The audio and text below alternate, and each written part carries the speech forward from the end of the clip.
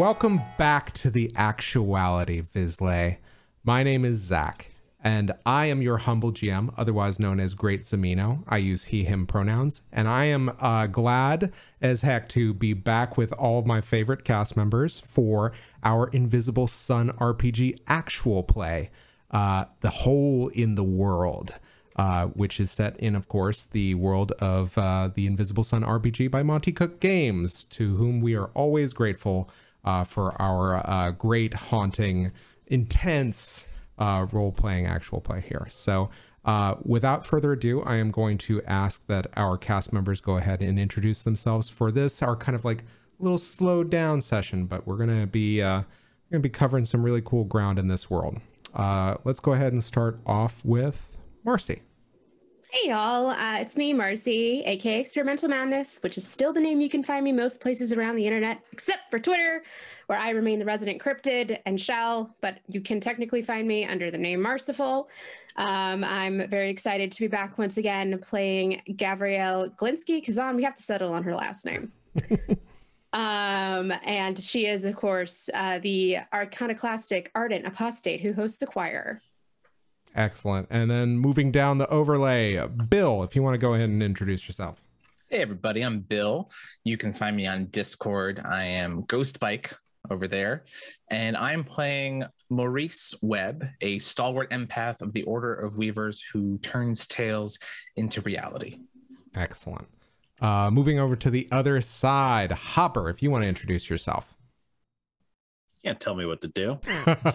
um, I'm Hopper and uh, as the GM, I think I guess you can, but shh. Um, uh, sorry about that. I'm me. Um, I can be found on the interwebs at Fail Deadly. That's with a three instead of an e because I'm a bad person. Um, I use they them pronouns, as does my character. Um, and uh, I am playing uh, Okras, the iconoclastic ardent uh, apostate who heralds endings. Excellent. And finally, rounding out our motley crew, Marissa, if you'd like to introduce yourself. Hi, everyone. My name is Marissa, she, her pronouns, also known as Critical Kitten, with a variety of punctuation here and there in various corners of the internet. Uh, and I play Kyrrie von Hollingsworth, who is the first assistant librarian of the Order of the Vance. She is an Eremitic Stoic who understands the words, uh, and she's so far been pretty difficult these past couple of episodes, um, despite having Zaleska's grimoire and being its guardian, she nearly threw it into a fire last time. So, not being a particularly good guardian at the moment. And yeah, that actually uh, brings to bear exactly just how much has transpired. Uh, last session was largely exposition, um, but uh, it was fairly necessary exposition as you guys found out some very important stuff, which I am going to recount as soon as I put on a little classic from uh, Kai Engel you guys might be familiar with. I love the idea of you as just the DJ. I was this is another classic Kai Engel. Everyone needs to do that now whenever kids. they're like changing up the, the the songs on the playlist. Guys, just remember to keep your head in the sky and your feet on the ground. Um, so try all to praise and Compotech. all praise and Compotech. Um, so guys, uh, a lot has transpired. Uh, you guys got a lot of uh, incredibly important answers from uh, the uh, fairly familiar face uh, that was recently familiar to you from your experience uh, experiencing his um, perspective through the war report. Uh, you found out that Kieran von Milas is, in fact, the Miller, uh, who is uh, one of, if not the de facto head of the Hendasa, a uh, secretive clandestine organization that tries to essentially uh, drag people out of uh, the illusory world of the gray, the shadow, in order to pull them back into the actuality, into the indigo sun. And a lot of this is a continuation of a mission that Kieran uh, had in mind long ago after kind of collaborating ostensibly with the Spider Prince, otherwise known as the younger version of Maurice Webb. Uh, so you guys found out a lot of stuff. Namely, you found out that um, it ostensibly it was supposed to have been, or at least it was believed by Kieran that Okras uh, was responsible for the um, loss of memory that a lot of uh, the cataract experienced as they kind of undertook this new mission after a great spell was cast over the world, helping people to, uh, or helping people to forget the war, as it were. Uh, and basically, uh, Okras uh, to Kieran, but was in fact uh, Twigg, uh, stole some of those memories and hid them away so that they could be found again. Kieran only became aware of a lot of the things that uh, he used to know as soon as the seed of truth uh, reemerged on the same sun that he was on in Fartown um, when Gavriel uh, found herself back into this uh, uh, plane of existence following uh, their departure from the war report. So, a lot of the stuff that Kieran was able to kind of do in order to bring you in secretively to try to draw less attention to all of you uh, was done with the help of a lot of these kind of powers that were at his disposal from uh, having the resources of the Hendasa available to him. Out of a place called the Oblong Chamber, where time essentially does not exist, Kieran is able to prolong uh, his experience of the actuality. And you realize that this took a toll on him as he grew more and more exhausted, uh, telling you of these kind of revelatory experiences. Uh, one such revelation you guys realized is that uh, were twofold. One was that um, Maurice was responsible for putting Gavriel into a secondary kind of reality. And not only that, this secondary reality was the war torn uh, fields of St. P- uh, Petersburg, Russia, I believe. Um, so, in addition to having that, it was also revealed that Maurice was single handedly responsible to make uh, for making sure that neither Okras uh, nor um, uh, Maduin, uh, Gavriel's father, ha- would anger the warden of the Silver Sun by not appeasing him with a gift, um, which in this case, the forfeit for such a um, uh, a kind of uh, faux pas, as it were, uh, might have been fairly dire indeed. So um, it was revealed that Maurice had a very distinct hand in um, how things turned out, or at least the Spider Prince did. Um, so after a lot of And just sorry, just to be clear, it was Okras nor Maduin, or was it Mott in this case? uh, so Mott, you don't know about, Got it. yeah. Uh, but Maduin, You did not say that last time. oh, You did not say that last time. what did I say last You time? just didn't say anything. This is just new information in the recap. Thank you. I tried to. I'm gonna stop. I'm. I'm trying to not. Um, I'm trying to leave a lot less subtext. A lot. Because let me just tell you, I know authors that all use subtext, and they're all cowards, every one of them. I mean, Um, it's just one thing to be like, I'm nodding along. Yep, the recap. Yep, yep, yep. Here's new information. I Gotta keep them on their toes. Argument: We had a Logavor incident, and we just didn't realize it. I Exactly. like that. Yeah, I mean, I I dwell in shadow all the time. I meet strange people, can't remember their faces. It's a weird thing. That might just be unique to me, though. Uh, You should talk to a doctor about that. you know what? Let we that is we'll cross that bridge know when we get to it. Yeah. Um. That so was a face journey too. I'll clip that. That was great. um. So yeah, you guys found out a lot of uh, important information, and uh, when you uh, were kind of exhaust you had asked all these exhaustive questions uh, you guys found yourself in uh, staying the night in uh, courtesy of the boarding facilities available to the Hendasa.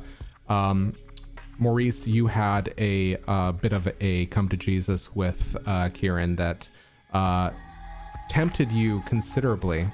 Um, you were asked if you were really uh, down with this whole resistance movement this whole kind of uh, attempt or this desire for rebellion, and uh, he offered you, Kieran, a way to go into the gray if you wanted to go.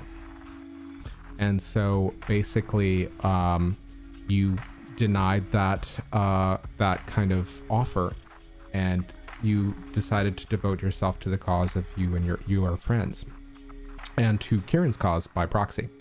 Uh, in addition, uh, Gavriel and uh, Kyrrie had a bit of a confrontation. Uh, Kyrrie expressing her frustration with the fact that the seed chose Gavriel, uh, as well as uh, uh, Zaleska were able was able to spend those last precious moments with her before um, shattering and ostensibly going to the pale sun. So, um, in attempt to try to um, placate her, uh, you asked a question of the universe, and the universe a- uh, answered, and the seed of truth revealed to you the importance of uh, the Vance to Indigo, if not to the whole of the actuality. Uh, that information flooded your mind while Kyrrie watched and did not uh, leave a good taste in her mouth. Uh, so much so that um, when she found herself um, by herself, or uh, or kind of functionally by herself with the assistance of Literalum, um, she almost burned Zaleska's grimoire. What would have happened? We don't know. But the only witnesses to this were Literalum, as well as a single lone mirror that had somehow found its way into her chambers.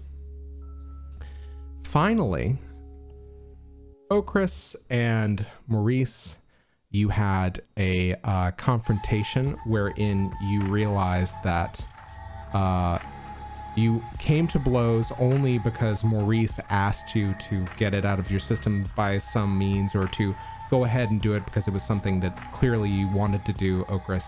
Uh, and the ex- the kind of He asked me to punch him. yeah, It was it was very. Go ahead, punch me, bro. Okay. punch me, bro. What you Uh, gonna do? I'm gonna do it. and so it's, uh, it's it's the classic. What are you gonna do? Stab me? Says stab victim. says person who was subsequently stabbed. Yes.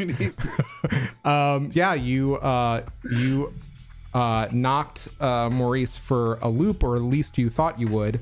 Um, it did significantly less damage uh, because Maurice used that uh, power to um, kind of uh, stop that uh, from uh, doing a crazy amount of damage. Uh, but in so doing, um, Maurice, you found around you, suffusing the tentacle, which has now replaced your right hand, access to the hatred aggregate. You felt so close to it, you could almost reach out, grab it, and use it. But you didn't. And so the two of you found yourselves um, kind of in this detente, as it were, as you made your way to bed. I think worse for wear, regardless of how little damage was actually um, done. And so the following morning, you find yourselves in the oblong chamber, uh, staring across from Kieran von Milas, uh, the miller himself, who looked to you and said, So, what's the plan? And now, I'm going to turn off this music, and we are going to answer that question in earnest.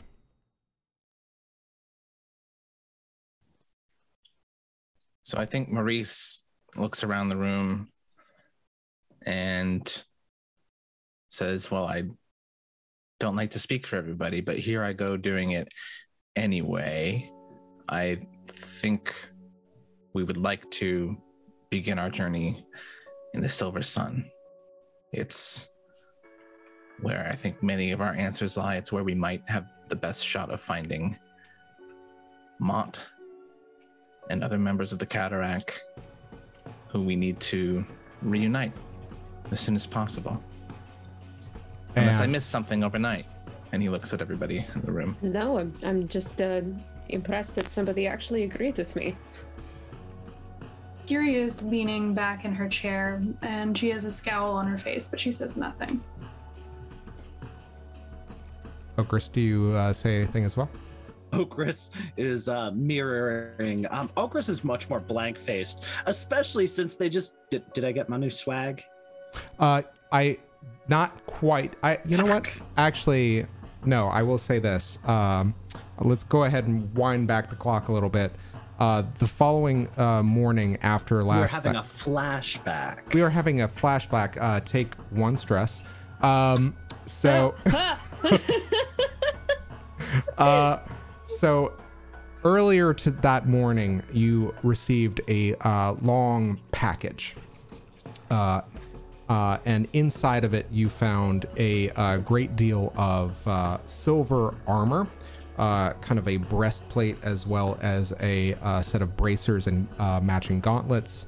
And not only that, you had found in it uh, a mask, and just below all of these pieces, uh, lovingly assembled by the maker crew of um, Kieran, you found a uh, fairly hefty silver sledgehammer. Um, so my question is, what about this, uh, the accents of these armor piece pieces, uh, really kind of speak to you? What accents did the makers add themselves uh, that uh, set make this uh, armor kindled and unique?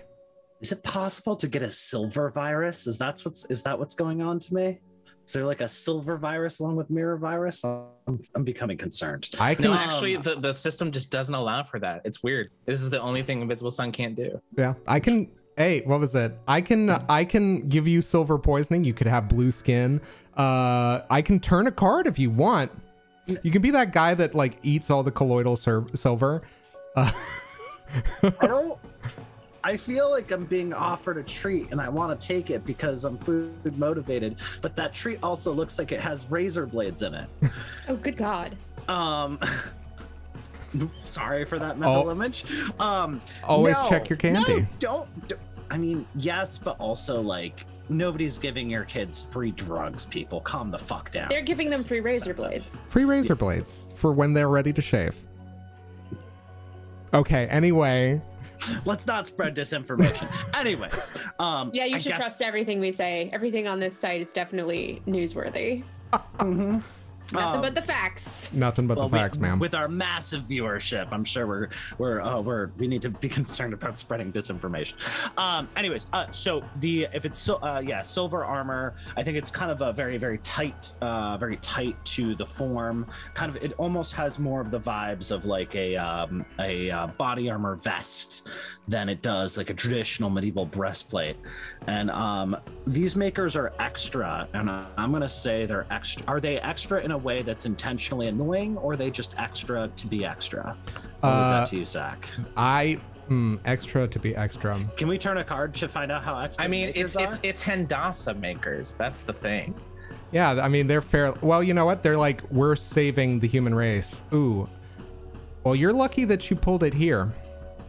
The tyrannical clock. Uh, oppression, time, countdown, schedule, repetition.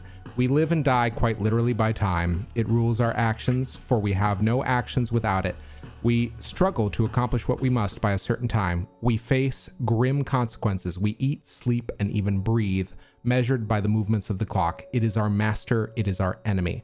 And so, this is, I think, interesting because I think what this is is so the tyrannical clock is really something that speaks to um, the mindset of Kieran. Kieran being someone who manipulates time and space, and so there. I think that these makers have basically um, almost threaded them these designs through uh, the silver and filigreed it in such a way to serve as a reminder to you how precious time is. Uh, so I'm going to say this. Uh, you are going to get plus one intellect, Bene, while you wear this. You are going to, however, get. Uh, no, I think movement makes the most sense because time is of the essence. You are going to, however, uh, get minus one or one vex to um, your intellect just because I think it's asking you to make hazardous situ- uh, uh, questions or uh, hazardous um, conclusions and to make uh, jumps without a lot of forethought. Uh, so in this case, we'll call that um, uh, temporal uh, silver ar- armor. So make a note of that. Temporal Yeah. Temporal armor. Yeah. All right. Fucking mood. Uh, is the mask a mat- matched set to that? It is at the heart of it uh, is a clock, and you notice that uh, at the very top where both the hourglass or the hour hand and the minute hand meet. Uh, they are overlapping. Uh, they are meeting at a 13th hour, a note of the hour that Kieran lost. Ooh, Mask of the Thirteenth Hour. Nice. Um, cool. Yeah. So the um, Okras is glowering with just their eyes from behind this mask. Um, and uh, I, I think um, leaned up against uh, leaned up against the wall or the oval walls of this chamber. Um, and does it seems to be, if not content to let Maurice speak, um, not offering anything better and just is once again kind of placed themselves in such a way that they're closer to Kieran, um, keeping everybody else within eyesight. Absolutely. And I think, um, Kyrrie, I will say that it is not so much a slight, this armor, this kind of mask, so much as it is a reminder that there is not much left of the friend that you knew that you can see. We did just Darth Vader. We did just pull a Darth Vader on you. Yeah. Uh, yeah, it's actually a reverse Darth Vader. Well, no, it is. A, it's an actual Darth Vader, and also a reverse Darth Vader. Reverse Darth Vader is such an interesting concept. Just exactly. don't- You're my, you're my daddy now. Let's keep this PG, okay? Whatever you do, kids, just don't go to Urban Dictionary and look up reverse Darth Vader, okay? yeah, please don't. No. Oh God. so I think uh, I think Maurice uh, kind of looks at, at Gav, having you know expressed surprise that anyone would agree with her plan, and says, uh, "I do have a few things I'd like to do in Satyrine. After all, it's been nine months. Um, I just you know want to wrap up a few things. I imagine other people would as well." and uh, I think at which point, um, Kieran looks at all of you and says, Does he speak for you all then? That you all need things that you have to do? Do you need to get them done now? Time, while we have so much of it here, it's fleeting. So, bear this in mind. But I all, think Kyrrie, Kyrrie sits up. I'm not going anywhere until I find out what's happened to the Vance. very well. That makes. That is understandable. and he looks at Gavriel and Okras. Are there anything that the either of the two of you need that otherwise we're happy to put you up for board here. Oh, that won't be necessary. I have a place of my own that I should probably check on. Very well. Okras?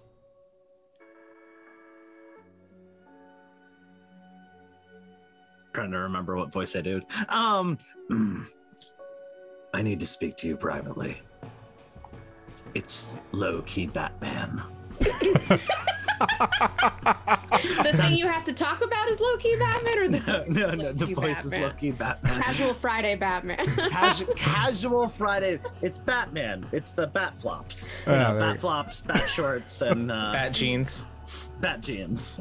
Yeah, I just want to say swear to me now. But I, anyway, I'm not going to create that circumstance. Um, he Well, looks. I'll, I'll, I'll work it in there somewhere. Good job, everyone. We're not even an hour in. We've got Reverse Vader and Casual Friday Batman. Casual Friday Batman. Uh, Okay. yeah. So, uh, yeah, yeah. Um, Swear to this my tie. Oh, I don't God. know. Yeah. Anyway. Uh, all right. Um, don't mind me. So yeah, yeah. Uh, Okras just kind of looks, uh, looks over and back at Kieran. I need to speak to you privately. and Kieran nods. So, as I said, time is fleeting. And I am having. I'm all over the place with Kieran's voice, so please forgive me. Um, he's a little British, right? yeah, he's very British, right? Yeah. Tinker Tailor Soldier. Charles Dance. Charles Charles Dance. Dance. Yeah. Oh wow. Okay. Man, that's big shoes to fill. Okay. Um At which point uh, he just looks at all of you and just says, um, very well. How much time do we need to have before we meet again? How much time do you need, I should say? Maurice looks at Kyrrie, makes uncomfortable eye contact as she returns it. I think she resists this as long as absolutely possible until it's clear like the entire table is sitting there looking at her. And she finally, like, very recalcitrantly looks up, like, defiantly, like, don't look at me, don't perceive me. um, and uh, then goes, I can't give you an estimate. I'm going to get to the bottom of what's happening at the Vance. I expect a week, maybe. I have to track down Yadevastra. I have to figure out what's happening with the new order. It could take time, but I can't put a deadline on it. Very well. Just bear this in mind. And um, he looks to the rest. He looks at you, Maurice, and he says, um, he also looks to all of you, says, Also, if there's anything that I can do to perhaps train you in advance of this journey, to provide whatever meager resources I have available, I can do such a thing. and um, he is essentially offering you guys uh, to teach you guys secrets uh, if you have some downtime that you would like to spend with him. Um, the last thing he does, though, is he looks at you, uh, Maurice, and says, I assume a week is enough for what you need to accomplish. Do you need any, any of you need any sort of Hendasa escort? That won't be necessary. No, I'll be fine. Very well. Those of you who would like to stay, stay. Otherwise, I will see you here in a week, whatever that is.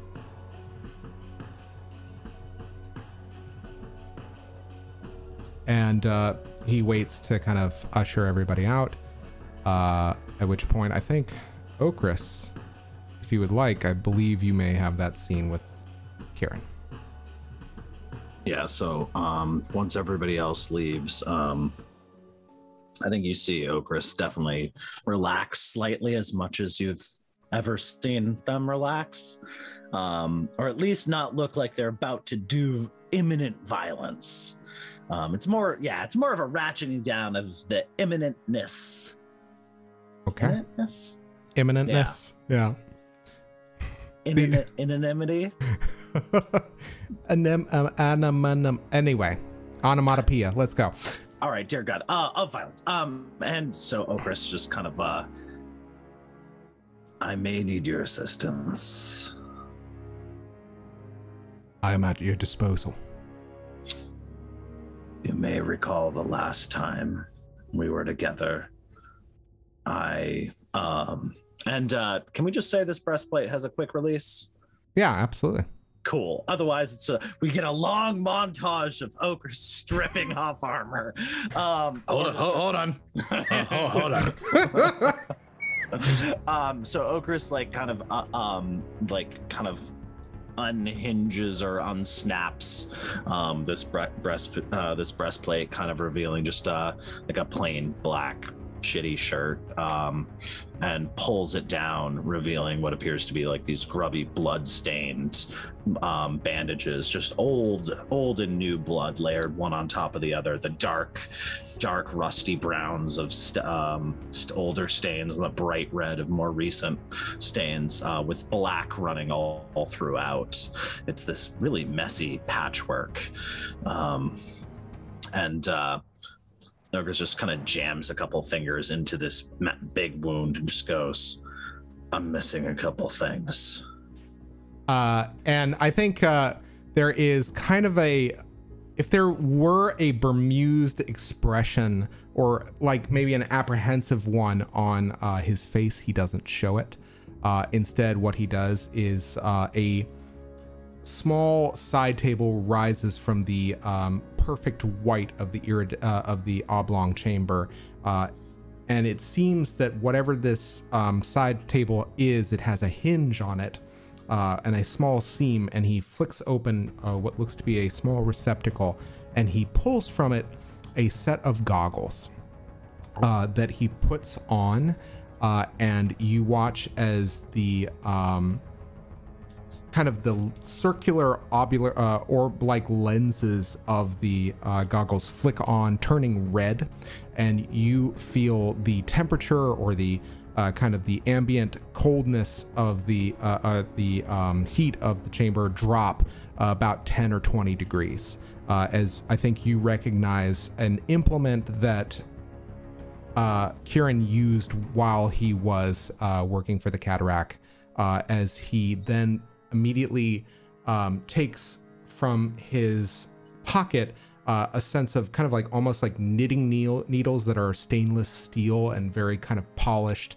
And uh, he gently kind of looking to you for approval, um, motions as if to put the needles into the wound, as if to spread uh, the flaps apart.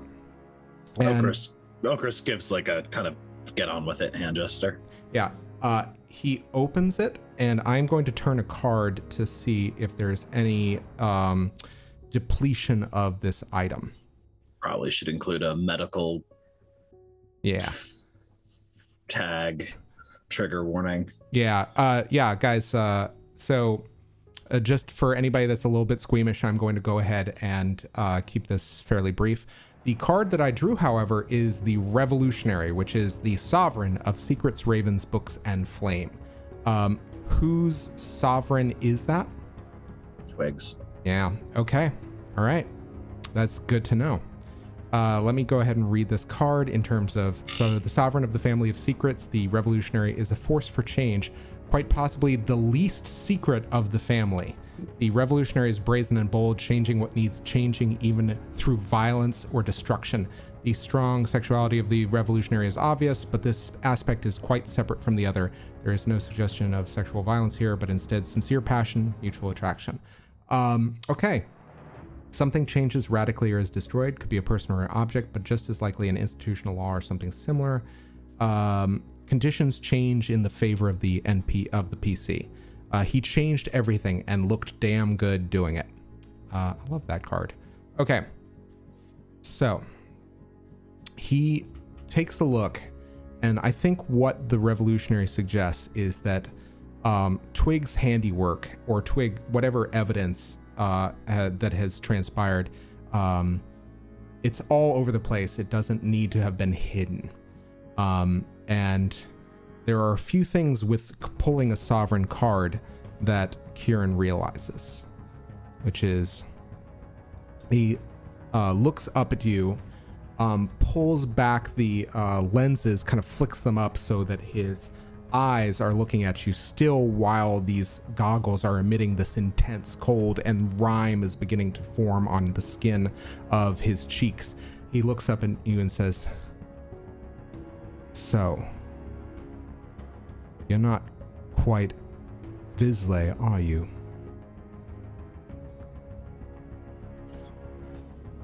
That's a very personal question. and uh, he looks at you and he says, um, "I actually see a bit of a demon in here, but there's no hierarchy, no order, no rank. So you're not that either. But you're also clearly not an angel or some other creature. Seem to be some mix of things, and by the look of it, your status, whatever ambiguity it is, it represents, has given your counterpart the ability to pull this heart out of your chest without you having a bit of a fall down.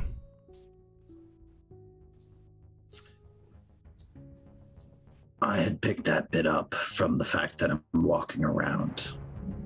And uh, he looks at you and says, This is very powerful magic indeed. I think it's one thing you understand to die and come back from the dead or to reanimate anything. To create something that can incessantly move forward, regardless of one of its most important constituent pieces being missing. Ah, that's a lot of power.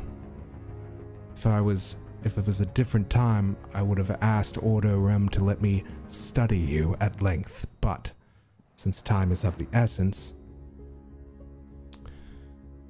I think I might have something that can help. Now, I don't know where this heart of yours is, but I have something that can help you and your friends. Okras just holds up uh, Okay. Two, two hearts, two. Very well.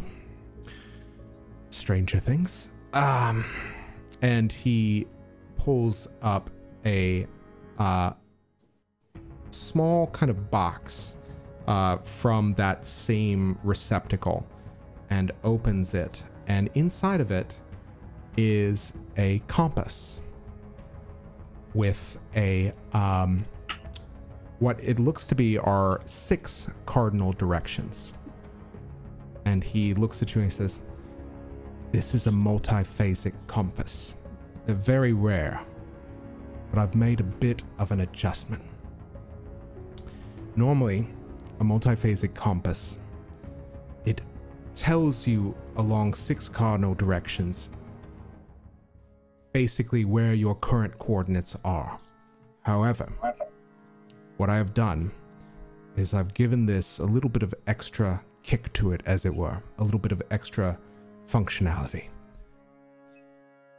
All you need do is specify what you need to find, and it will point you in the direction of where you need to go. Now, it's interesting in that it works a little bit less directly. It points you to things that may be instrumental in getting to the objective of where you need to be. It's not direct.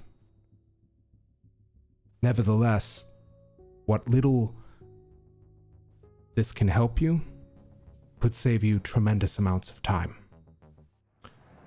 And he looks at you very seriously and very level eyed, uh, unwavering and as the rime continues to form on his cheeks, he does not waver, he does not blink, and he says, This is something that all of your companions will need.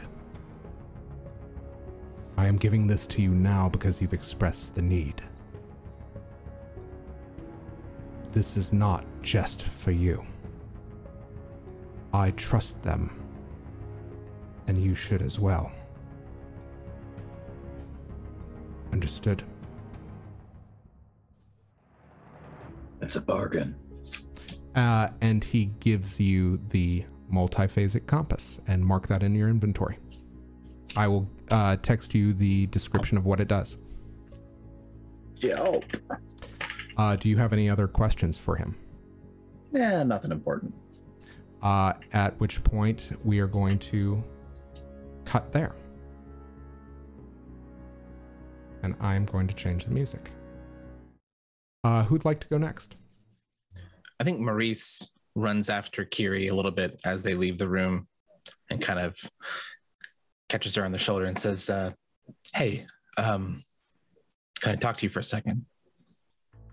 I think she turns around and her face is composed in a very sort of Allegra esque expression, very terse and in some ways blank, in some ways kind of missing the usual emotions that dance so plainly on Kyrrie's face. Um, she turns to you. Make it quick. Oh, we can walk and talk. Come, let I um look, I know that we all have business to attend to, and um, you know, I know we're all doing what we think is right. I all this just to say, no one's leaving you. I'm I'm still here for you, and I'll be in our dream study every night. Um, if Who you said need, anything about leaving? I mean, you're going to the Vancian campus. I'm going elsewhere. Gav is going to her home, I guess. Uh, we are reconvening, and that's all. It's a it's a small break. Uh, that's all I'm saying. Yes, I understand what it is to go and finish some individual business, Maurice. I And don't you know where to find me. I suppose where you've always been, you've made that clear. I haven't always been there. I want to just make clear that I will be. Well, I appreciate the offer. Thank you so much for extending it, and I assure you, should I need to converse about anything, I can find you in our dream study. She smiles a little like forced, false smile. And uh, Maurice kind of sits there for a minute and says, um, kind of quietly, it's not an offer. Oh, I'm telling you what I'm doing. The offer. You know where to find me. It's not an invitation, it's a promise. And when you're ready to get over yourself, I'll be there. And he walks past you. she bristles at this. And I think she has a retort on her lips that she's about to shout after you, but you see her close her mouth very firmly in a tight line and turn on heel.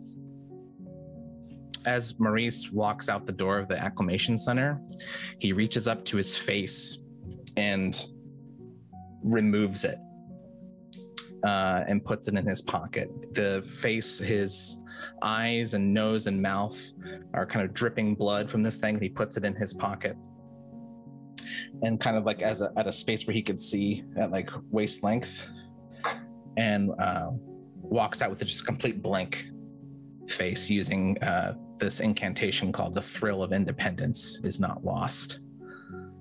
So, yeah, please go ahead. Um, and uh, he begins walking to the um, to the square with the um, war memorial, the statue of General Hager. Excellent. Okay. So you are making your way to the cluster of cloisters then. Okay.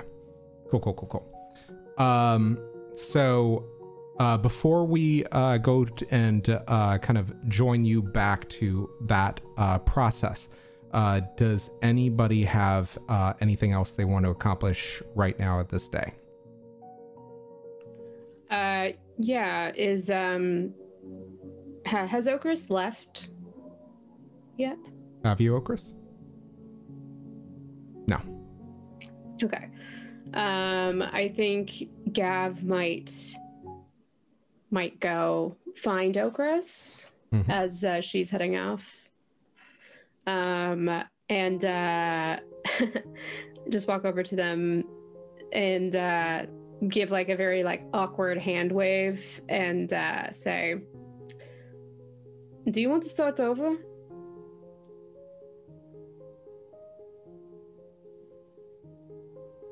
Is that an offer or a threat? Oh, trust me. When I threaten people, I'm usually pointing my gun at their face. Fair. I'm walking back to uh, my house if you want to join me. Why? I think there is something there that you might be uh, interested in seeing.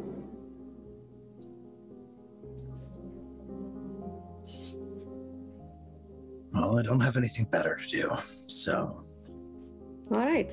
Well, come with me, and I'll uh, I'll fill you in on uh, on who I am along the way. Um, and uh, you can you can feel free to like cut away from there because I think there's we're gonna do I'm gonna do a little montagey thing here as like they're they're uh, heading towards uh, the ruined expanse. Uh, Gav is basically essentially going to give you a a montage of who she is, how she got there, and all that good good stuff from part one. If you want to know what she's talking about, you gotta go back and watch all those videos. The more you know. Yeah, please, please do that. Please do that. Um, okay. Uh, we're gonna cut away from there. Uh, Kyrrie, where are you off to as um, they are catching up? Um, I think Kyrrie makes a beeline for the Vancian campus. Um, but before she does, was Kieran able to get any additional information about Yadevastra's location? Because I know Kieran said last time that like he was going to potentially look into it and let her know before they left if there was anything that could be found.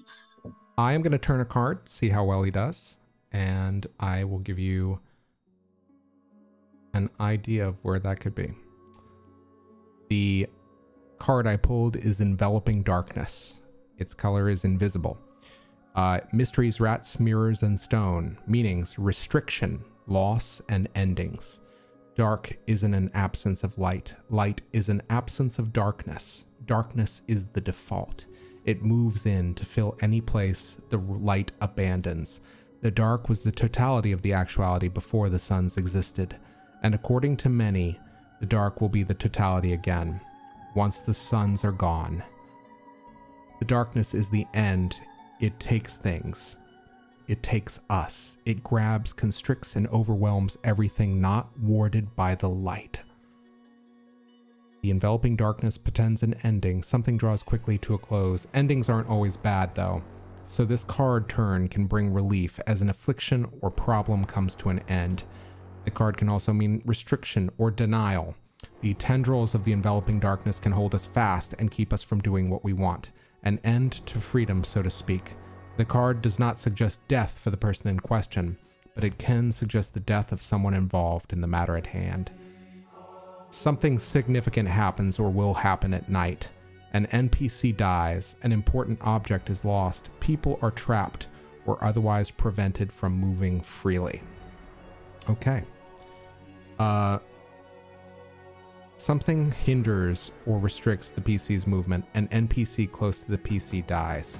He was so afraid of the darkness beneath his bed, he neglected the darkness outside of his window. Okay. So, what I am going to interpret this is, and your desire was to see, um, was to learn more about Yadevastra's whereabouts instead of what was going on at the campus. So, I think that, um, I think that what Kieran is able to come back to you with um, is he kind of because of the middling number of the card, about six. Um, his color is invisible, the color of protection, and it looks at you. Uh, he looks at you, and I think, um, or he doesn't look at you. I think he gives you a note um, that's handwritten, uh, collecting, uh, kind of making a collection of notes as to his research. Uh, and he just, I think the note reads, was unable to find Yadevastra's exact whereabouts did some research uh, with several operatives in the field, discovered that current um, uh, residence is located in Fartown. Um, frequently makes trips to Quiet Lake and to the Palindrome. And those are kind of like the notes that Kieran has left you. Okay. Um,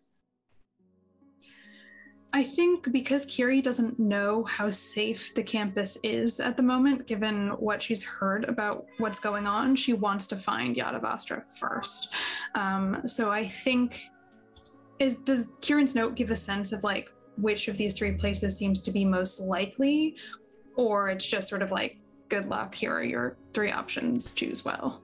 I think that there is an exact address last attached to Yadevastra in Fartown. Uh, Right. Quiet Lake, there are a couple of known haunts, um, um, but otherwise nothing very specific. Uh, with regard to the palindrome, there's also nothing very specific. Again, a couple of places that uh, they are known to frequent.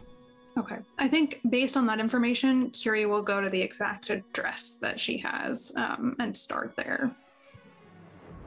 Uh, also, uh, let's go ahead and say hey to our raiders. Uh, hey, Krifu, thanks so much for joining us. We're so glad to have you. We're doing a little bit of our downtime kind of session as uh, we try to learn more answers to pressing questions. So thanks again. Um, so, Kyrrie, you were heading to Fartown, I believe, right? Okay. Uh, so you were going straight to uh, the Vancian campus or to um, their residence? What do you do? To their residence, um, I think until she knows more from Yadevastra about what's happening on the campus, she doesn't want to brave or potentially bring the Grim- Grimoire back into a circumstance where it could be in danger. Cool. Okay. Um, so I will go ahead and say that uh, the residence in uh, Fartown, and let me go ahead and pull up my um, map in my uh, documents over here. So, uh, I think that the place you're going is not very far from um, from the campus itself. Uh, the uh, the place that it is uh, marked as is, I believe, uh, 238 uh, Widdershins Street. Uh, it is on the, I want to say the south, uh, the southern, central southern uh, side of uh, Fartown, very close to the bleed where the edges of Fartown meet the kind of barrier that has been erected around um, the uh, around the district. Uh, so you get there fairly easily enough. And let me put on some different music uh, as you venture in. So the address takes you to a small abandoned lot um, that there is, it seems fairly unkempt, with the exception that there is a corner bookstore um, not too far uh, off to one side. That's more of like kind of like a local newsstand. It's almost like a communal library. Um, this communal library uh, just has a very large receptacle to one side and a fairly uh, gregarious looking um, uh, older woman manning the till, as it were. Um, basically, all behind her are a number of books that are chained uh, to the back just for the sake of uh, convenience and perusal. Um, but there are just numerous volumes in front of her. Uh, and she uh, looks to you and says, um, Hello. Welcome to the uh, Musings and Meanderings. Can I help you? And on, I will say this on Kieran's note is a title uh, that says um, Cartographies of the Heart. I think Kyrrie will have, especially if it is capitalized as such, have interpreted this as a book title. Um, and so she puts on her sort of mask of being socially acceptable in public uh, and smiles slightly.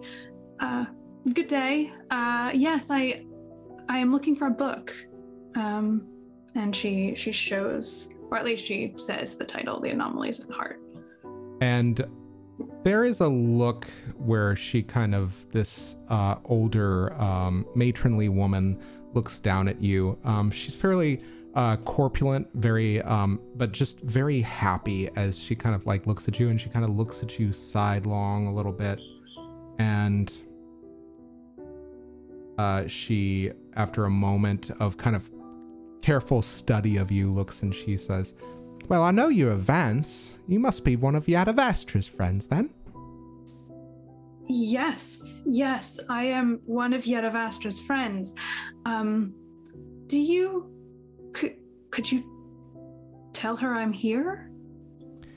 Well, just a moment. I don't see why not, but uh, uh, mind you, they very much value their privacy, and so don't expect me to go ahead and let you uh, uh, in for just whoever. It's got to come from them.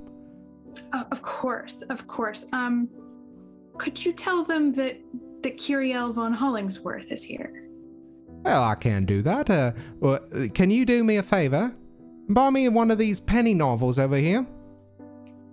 I'm having a hard time moving them. Uh, of course. Um, and she like goes over to where she's been instructed to be. Where would you like me to put them? Oh, I, I'm hoping you could take them off my hands. Nobody else is picking them up. Oh. Oh, I see. You you want me to to buy them? I'm afraid I don't. She like rummages around in her pockets. Um, Actually, you uh, you should recall, uh, or not should recall. I will say that um, uh, you do have still have quite a great deal of currency from uh, King Nine. uh, cool. She didn't even remember that she had any of this. So she's like, um, h- how much do you would do they cost? And uh, are you are you pulling out like gem orbs while you're doing this?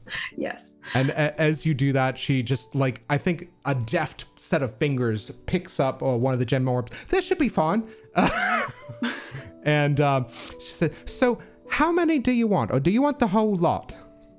Um, well, I ha- haven't brought a receptacle to carry them, but I, however many that you are looking to be rid of, I suppose. And she and she looks. Well, I've got, I've got just the thing. And she uh, grabs a tote bag uh, that is behind her uh, of uh, uh, musings and meanderings, and uh, she just starts.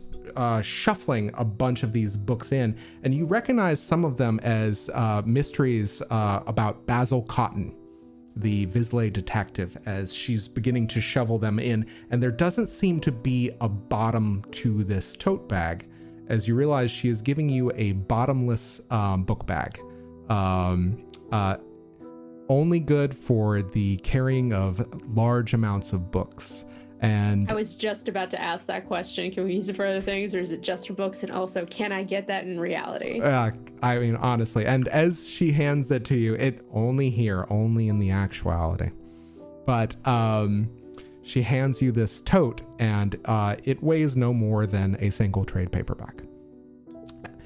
And uh, she turns around and uh, says, uh, "Now, "Just before I go ahead and get them, you just let I just want to let you know you're welcome to anything in the shop anytime you want." Oh, would I have to pay for that as well? Oh no, you've paid. You've paid considerably. And uh Okay. All right. I think you bought this bookstore. Kyrrie now is the proud owner of uh, Musings and Meanderings. uh and uh and she turns around and um you uh I think that she kind of goes out of eye shot of you. Uh you hear uh, a little bit of rustling and then you hear uh madam uh, uh, uh, uh ma- madam Mr. Mas uh, Yadevastra I've got a friend here for you. Says her name's Kyrrie von Hollingsworth. You want me to? Uh, okay, all right. And um, you hear the slam of a book, and uh, uh, pretty soon she reappears, and she has uh this book, Cartographies of the Heart, out in front of her, and she pushes it to you and says, "Well, um, you just go ahead and open that, and uh." Uh, when you're ready to come out, you just give me a knock. Three knocks. I'm sorry. Y- Yadevastra is in the. Oh yeah, plenty of Viz they make their homes in books. They love them. Oh, Saves on quite a deal of space, if you ask me. there is that. There's also the mobility. People can carry your home around. I've read a couple of books about people doing it, but I can't say that I've ever seen one.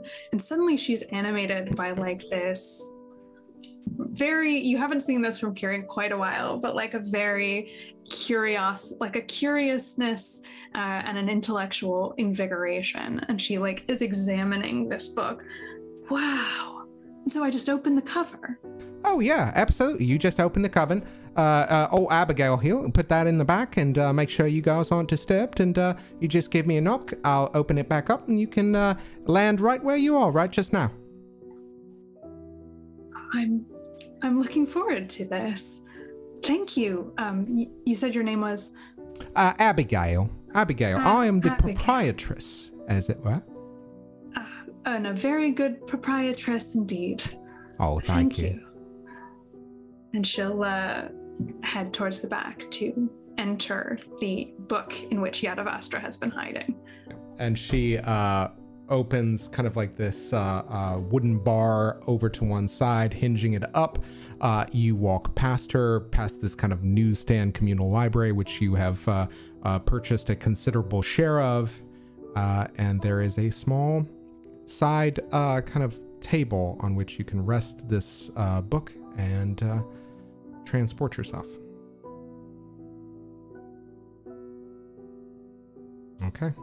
As you open the book, uh, you, I think it's almost like a sharp inhalation of breath, as, and you find yourself standing in front of a modest, uh, but very, um, very comfortable looking home with a carefully uh, tended garden. What about this house do you see makes you realize that it is the home of Avance? What is the first manifestation of this fastidiousness and this uh, understanding of magic? Um, it's the fact that there are spiral staircases on the outside of this building, um, at which you can, and it, clearly it goes sort of up to the top, one on each side, uh, climbing the house, almost like fire escapes, but clearly built into the designed architecture of the landscape. Um, and in around, in and around each of these uh, spiral staircases, there are these manicured, carefully manicured gardens, um, hedgerows that are clipped to exactitude, uh, sculptures that are shaped, many of them in the form of books or in artifacts uh, that you would recognize from Vancian studies, uh, like, you know, principles, things that are um, like close to principles of physics, um, quantum mechanics, as insofar as you can clip a hedgerow to look like something in quantum mechanics, it has been done here.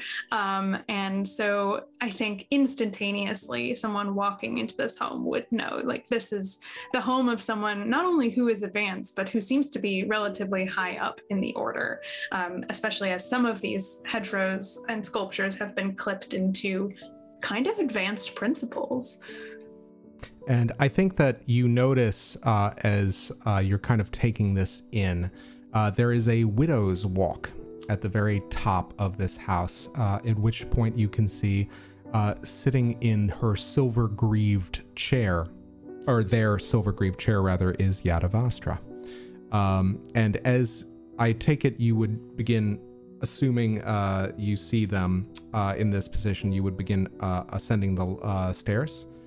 Uh, Definitely. You, you begin walking up the stairs, and as you do, you realize that each one of them has a little hinge on it, as though at any point it could uh, turn into a slightly declined rail uh, to give Yadevastra different uh, access to the different levels of each of their home. And you begin ascending, and I think sitting at the very uh, center of the widow's walk, um, sipping a cup of tea very um, thoughtfully, is Yadevastra. Yadevastra, uh, I'm so glad to see you. And she hurries up to her, or to, hurries up to them. And as you hurry up to them, um, there is this kind of happy but melancholy look on their face, um, as though they are trying to decide on an emotion. And Mistress von Hollingsworth, so good to see you again after so long. I will confess that I was somewhat worried, but certain that I would see you again soon. Yes, I. Oh, I have so much to tell you, Yadevastra. There's the war report. We we found it. We went into it. It was amazing. So, Celestica was successful then. Wait, you you knew that that's what it was? Um, it's hard to say what I remember or know. anymore. I know that things. Celestica had projects and stratagems, and many of them had to do with the war. And the more I learned, the more I forgot. I assume I won't remember much of anything we discuss, but as it pertains to the war. Yes, I get the impression there's some sort of magic that's keeping this knowledge from the people of Satyrine, and only those that have been in the war report or, well, those who are close to something else, only they can remember. Oh? Yes. Um What do you what do you know about a seed of truth? A seed of truth. And I'm going to turn a card.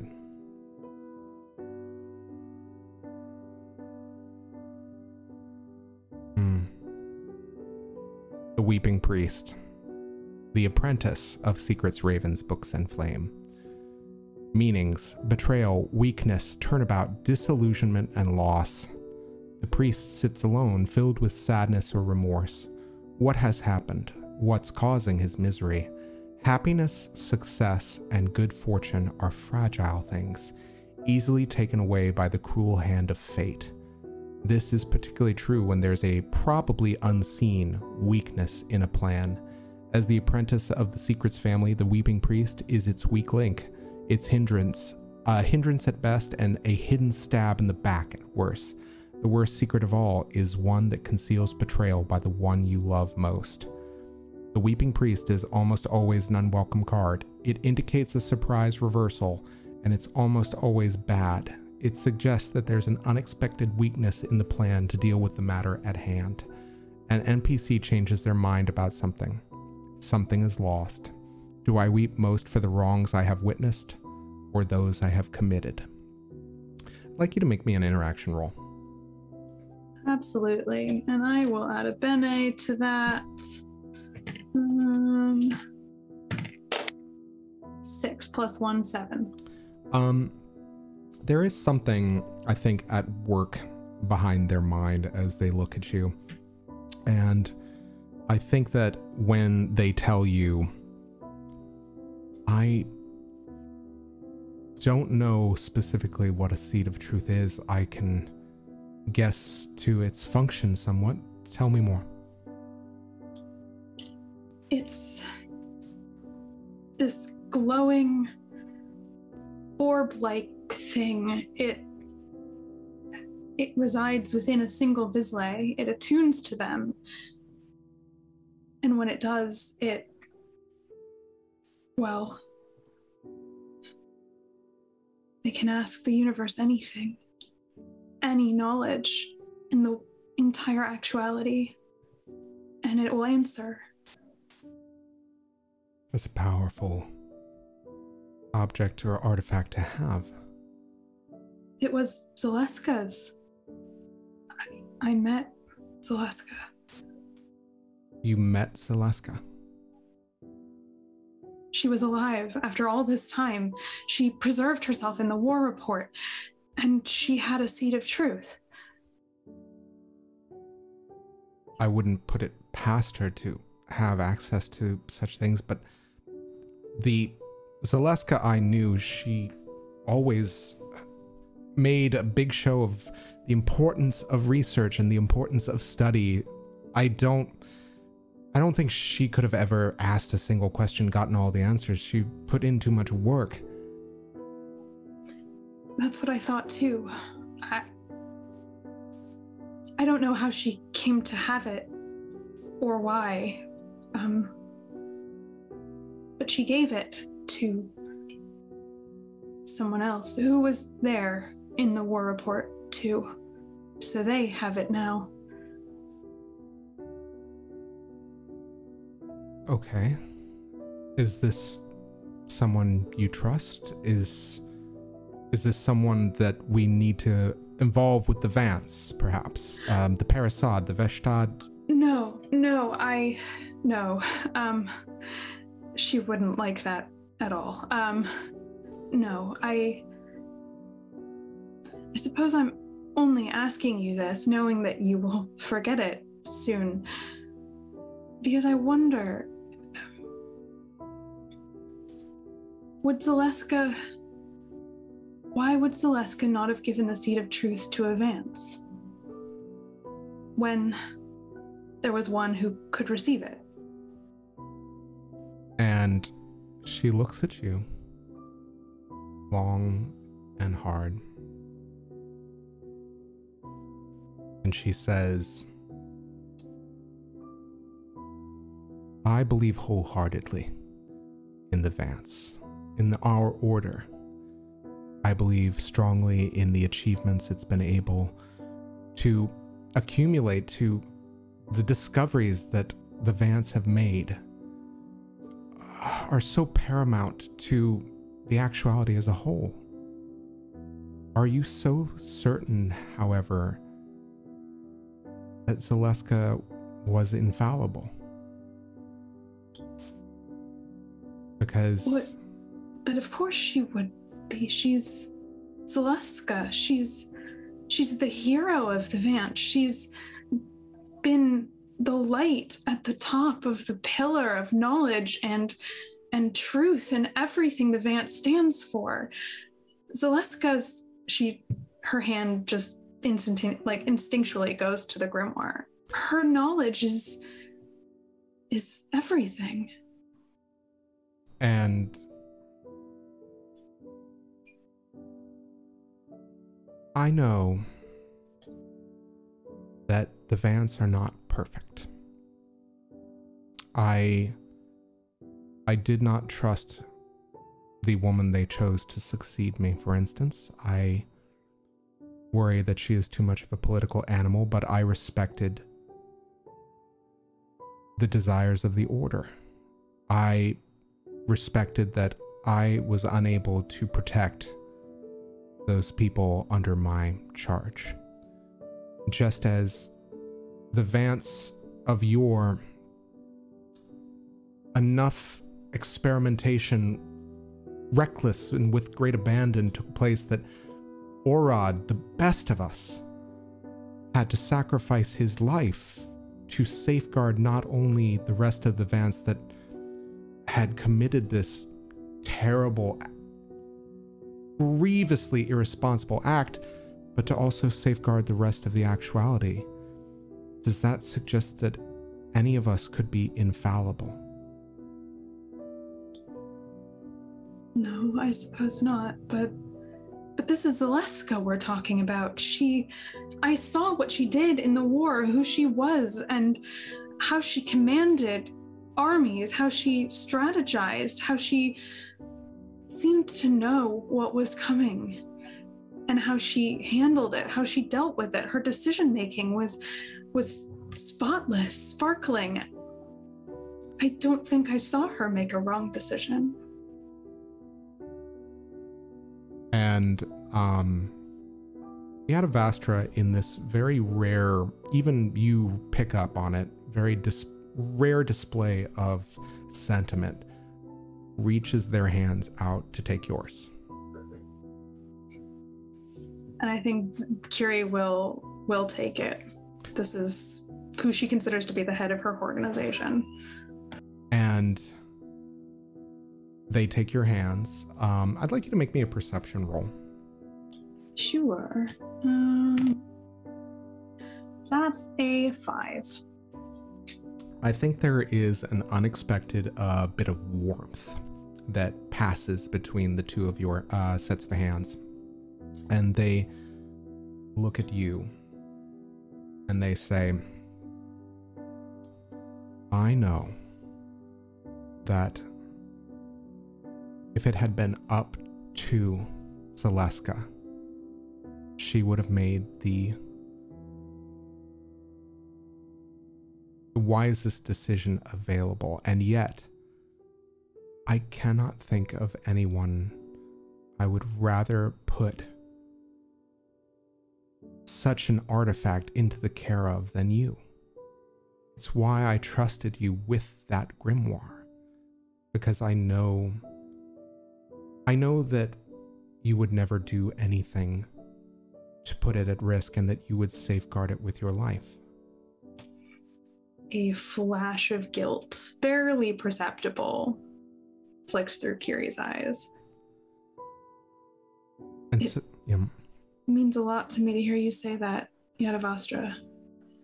of course, it's it's sincere. I hope that it's very clear how sincere, how important you are to the Vance as a whole. How important to your colleagues, to Ardeno, to the a tremendous amount of work that you did on your research for the Library of Esoteric Studies. It's. I. I cannot imagine someone being infallible who would not be able to see what I see. I think when Kyrrie looks up, there's like briefest glimmer of tears in her eyes. Does every Vance doubt their path like this? Some doubt. Some. Some, like your sister, have too much surety. Every yes, I saw that. every path. She was everywhere in the war report. she was.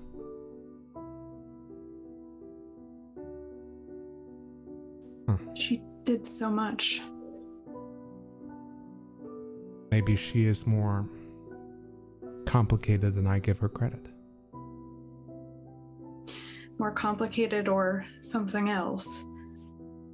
I didn't say that I thought everything she did in it was good. Certainly, some of it a long way from that.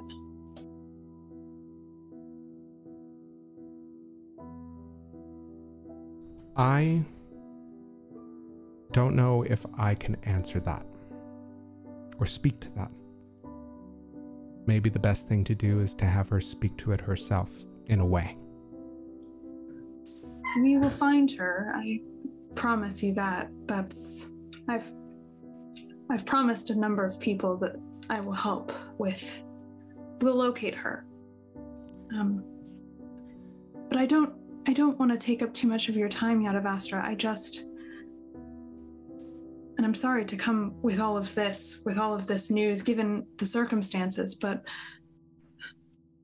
and I'm sorry if this is hard for you in some way, but I need to know what happened at the Vance. The murders, everything that I heard coming out of the war report. What's going on? I will endeavor to do the best I can to tell you, but um, maybe as it pertains to your sister, this can provide a means by which you can learn more. And they place their hand over about one, two feet above a side table uh, on which uh, they have rested their tea. And they begin gesturing, and a small box appears um, on the table adjacent to the tea saucer. And they open it up, and in the center of this box is a copper icon that resembles a brass or a resembles a palace. And they push it to you. And they say, I have had this for quite some time. And I think that that was by your sister's design before she chose to traverse the path that she has. And I hope it proves useful to you in your search. And you now have access to your sister's mind palace. And it's there. We're going to take our 10 minute break. Way, we're So- going to go ahead and start back with Gavriel and Okras. And let me put on some music. All right. Gavriel, where are you leading Okras? Uh, Gavriel is going back, uh, you know, traipsing her way back to the ruined expanse where the last place that she saw her lair was. Um, and, you know, considering that it's an old abandoned building, I don't think she thinks it's gone anywhere. So you can tell me if it's still there or not. Uh, I will not tell you. The cards will tell us. Oh, dear. Let's see how it goes. It's fine. Fleeting moment. Lost time, elusiveness, agility, and reaction. Time moves inexorably forward. Sometimes it moves so quickly that we will lose track of it. We try to watch, we try to pay attention, and yet it's gone. Mercurially, it slips through our fingers. Time can move so rapidly, in fact, that we can lose time. Look at the clock. It's 622. Look again, seemingly a moment later, and it's 805. They say that there was once an hour that came after midnight, but eventually it moved so quickly that it has disappeared altogether. If that's true, perhaps it's the fate of all time, and the midnight hour will flit away next. Time is elusive and impossible to hold, no matter how you try. It's a force of e- uh, that even the gods fear. And this is uh, strengthening indigo magic. It weakens gray magic. Um, quick and decisive reaction is the advice suggested by this card. The implication is that something is going to happen. It's going to happen soon and it's going to happen fast. One must be ready. This could be a threat or it could be a valuable opportunity. Either way, one has to react to it with agility, physical, mental, or both, or this elusive event will flitter away, leaving only its results behind to show that it ever even happened. Time passes suddenly. Something strange happens with time or the perception of time. An NPC escapes from confinement. An elusive figure, perhaps a spirit or legendary be- beast, makes a brief appearance. An NPC force, uh, performs a feat of amazing agility. Blink and it's gone, a moment too quick to perceive, but your whole life is made of such moments. Okay. So, what I will tell you this is that there is the building is still standing as you make your way to the expanse. Um, it is um, very clearly been nine months, however, and I think that there is more kind of uh, growth around the spot. I think, never mind, this is a ruined expanse. There's not much growth of anything, but I think there's still been some degradations to time itself. I think some of the um, edifices around it look more worse for wear or look as if they've been decimated by the passage of time or by gravity. And uh, I think as you guys are moving, you spot something in an alley not far away. And I think that you see a glo- a kind of gloomy figure on standing on two long hands and a torso uh, has its torso has been bisected. Um, it's just massive face glowering at you, two bright eyes peering out of uh, shadow, spiraling horns um, circling around its pointed ears, and you see it leap up onto one hand and point at you. It should be said that this bisected torso doesn't seem to have any gore or any kind of like um, any kind of uh, uh, attachment, anything, uh, any viscera attached to it.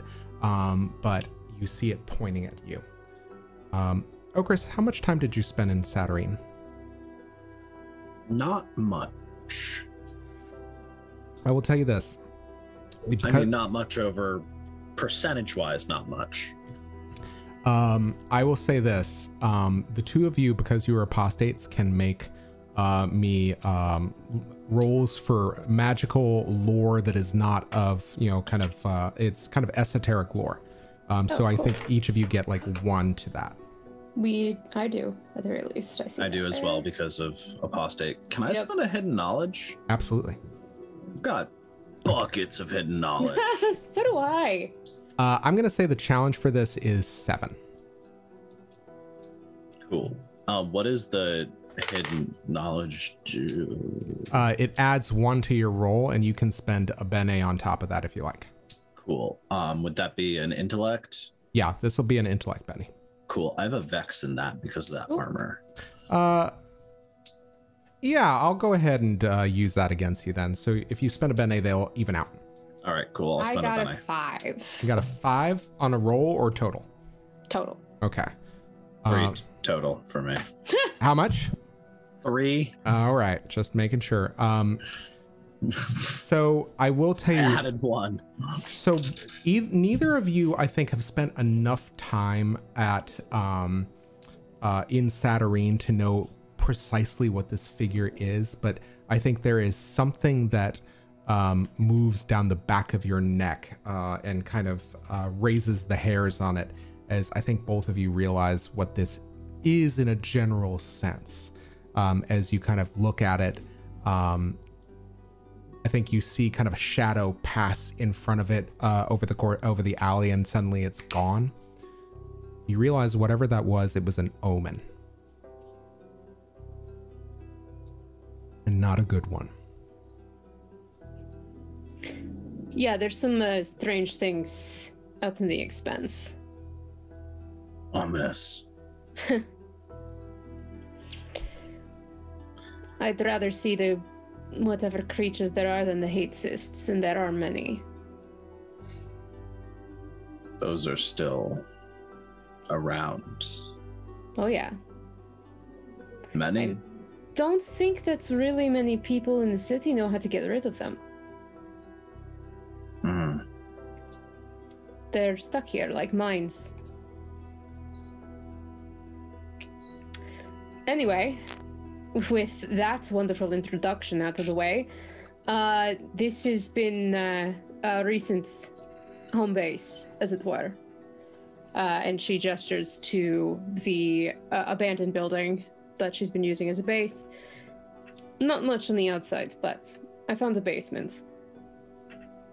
Um, and she'll take you down into it. And that's when you'll see just the layout of like the uh, the start of an armory that's clearly being formed, the the wall that's like littered with uh, with with different district maps, uh, connecting strings, notes, uh, different different figures, uh, names that are represented across the board.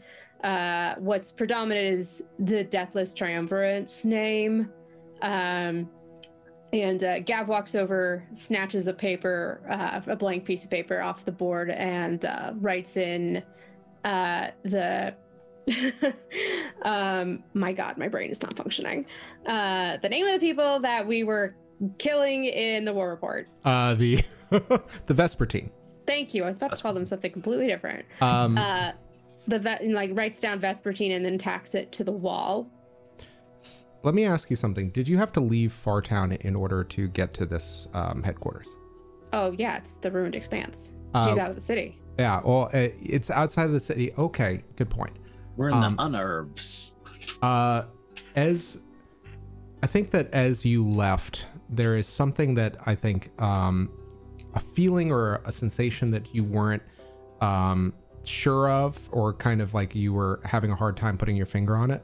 Um, and then as you are in this dark, um, kind of cloistered basement, you realize that the indigo light that is flickering inside of your chest is now flickering brighter as the power has recharged because you've moved out of once again another liminal space.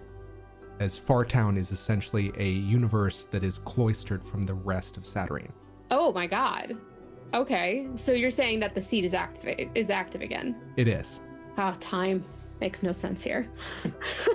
Wait, does it make sense anywhere? Well, in theory, only in theory. Only in theory. Um, yeah, Gav uh, gestures around to like there's like a little bed that serves as uh, the actual apartments. Uh, but for the most part, I, I think like you're you're able to to just, this this looks like a base of operations. Yeah, yeah, it's uh, yeah. I can imagine the various detritus, little, you know, all the stuff that you need to. Oh yeah, Uh, I'm yarn. Have you found yarn somewhere so you can make a crazy Charlie Day? yeah. I've got I've got Sylvia the whole? Pepe Sylvia vibe going on. Parkour. Excellent. Um, yeah, I think, think Okras just kind of um seems to be appreciating the, the the choice of a ruined building as a um as a base of operations. I what why exactly? Um, you just get a. I think that they're very hard to read, but you get almost almost a literal vibe.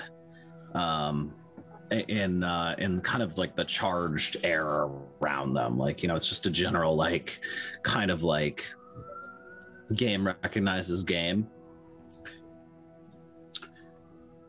The triumvirate. When I first came to uh, the city, I was pretty convinced that none of this was, in fact, if it was real, well, surely some things could be rearranged, taken down. I could return to where I came from, but from what I've seen now, I'm more convinced, or at least I was, that the Deathless Triumvirate had a hand in ensuring that everyone had forgotten their past. I did not know about the war when I was first brought here, um, but the more I found out about it, the more I've discovered that people had no recognition of fighting in it, nor did they know who their enemy was this was suspicious to me, given that when I came here, I had come out of a war of my own. I didn't sit. It didn't sit right with me, and uh, it, didn't sit right really with any of us. But I decided to uh, investigate, and the more I found out, the more I am convinced that this world is wrong. It calls itself the actuality, but it messes with reality more than I've ever seen and after what I've seen in the war report, I do not know if my initial target was correct or if I was not entirely thinking, well, pointing in the right direction. I do not know if the Vespertine are also the Triumvirate, if there are members that are on the Triumvirate, or if the Vespertine pull the strings behind them, or if one does not know what the other hand is doing. But I'd like to figure it out. And I know Okras, at least the one that I saw in the war report, would also be very keen on destroying these people.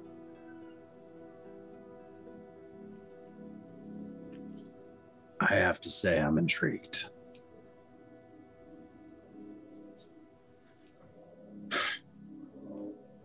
How long have they been called the Deathless? Do you have a name for any of them? No. What do they do? They rule the city. How? Uh, do you mean how, or do you mean when did they take over? Also a necessary question. My guess is sometime after the war. And war breeds power vacuums. That it does. We need to know who they are if you want their story to take a turn. Well, that's precisely what I've been trying to do. But with this, and she holds up her hand where the, the veins from the seed are glowing up towards her chest. I could ask and no. Um, with that with that kind of uh, that kind of uh, show and tell, I guess. Um, Okras uh, kind of reaches into the pocket and pulls out the multiphasic compass. It was Kieran's wish that I make you aware of this. What is it? Mm-hmm. Tech leads to your desired hearts, amongst other things. Mm. I, can't, I can't. With the fucking Pirates of the Caribbean. Yeah, I keep brand. thinking about it too. I just I can't think about. I, I'm just like I'm trying using. Don't think about it, don't think about it, don't think about it. On the heart. Damn it. Um. So uh. Yeah. You guys wanted so many things, and I needed to give you something. All right, Captain Jack. Um. Anyways. Uh, Gav, Gav raises a, an eyebrow at that. Captain Zach, thank you. Go ahead. Wow. It was just um, a tempting offer, but uh, I think right now it might be in multiple directions. There's a lot that I have just learned. I'm sort of being dropped into a lot of this. Uh, not that uh, far behind you. I knew your counterpart. Not well, but we did not get along. Well, that's one point in your favor then. Hmm. I need somebody that is willing to fight. Curious. Hopefully, still is. I have not fully told Maurice all of this. And now, with the Spider Prince, I'm not certain if I should. It's not because I do not trust him. Don't mistake me. It's mostly that it seems that we all have lives and memories that we ourselves are not entirely in control of. Whatever spell was cast to make this city forget its past. If we were to undo this, I do not know the Maurice we would get.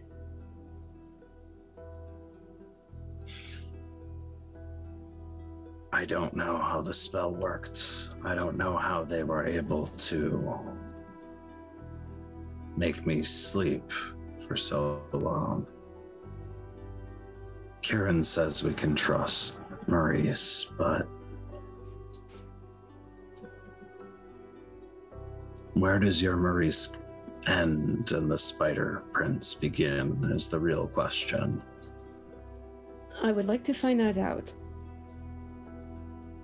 But that might require all of us. Which means you cannot go around killing my comrades.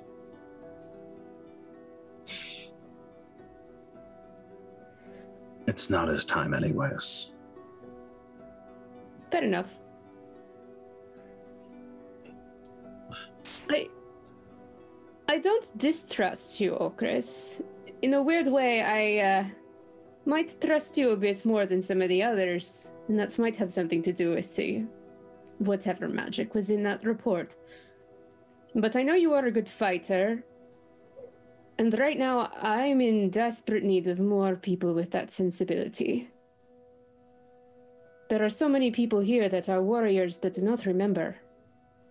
Soldiers that do not remember being soldiers, people that fought for something they do not remember fighting for. That does not sit well with me. Well, add to that, and I think that whoever runs this city used my people as a scapegoat for whatever power grab they wanted, and I would like to see them pay for that. And that is the threat, in case you are wondering. Ogre smiles with their eyes. All right. Uh, unless you guys have anything else, we will check Yep. in on Maurice. oh, I do. Okay, go ahead. I'm not one for causes. I have my own motivations and my own needs. One of which is finding out where my counterpart did with certain internal organs. Where, what, why. I'll work with you but I may need assistance in recovering things that are close to my chest. I can do that. Gav holds out a hand. Okras um, kind of stares at it for a second, and then like, and there's like literally like you can see the, the you can you can see the uh, the the processor bars twirling or whatever, and then um, and uh, holds an uh, holds a hand out. Yeah, she clasps your arm, but like very suddenly, like yanks you forward. I'll tell you the same thing that I told Kyrrie. You need to find a cause. And eventually, when our little contract is through, you can't just go around killing people. I want to try to make this city better. Whether or not I am a part of that, I do not know, but I see people that are distressed. And I will help them. Death is a cause. You are good at bringing it. Why don't you try bringing it for the right reasons now? Death is a state. And it's not the end. Not always. I never said it was the end. I do not believe death is an ending. But I didn't also say it was a beginning. It can be. I'll work oh. with you for now. Help me find the heart. And um, there's definitely like kind of a, just a brief, fl- like f- tonal flutter when uh, they say the heart. Um, and we'll see where we are after that. Deal. Before we close on this scene, I would like you guys to make me a perception roll. Okay. Hashtag hate that. Um, I'm gonna pop bene into that. Okay. yeah, samesies. Not great, but Well, fuck me, right? I So- rolled a three. Okay. you rolled a three. How'd you do? Zero plus one. Okay. Good job, team. I think that um, something.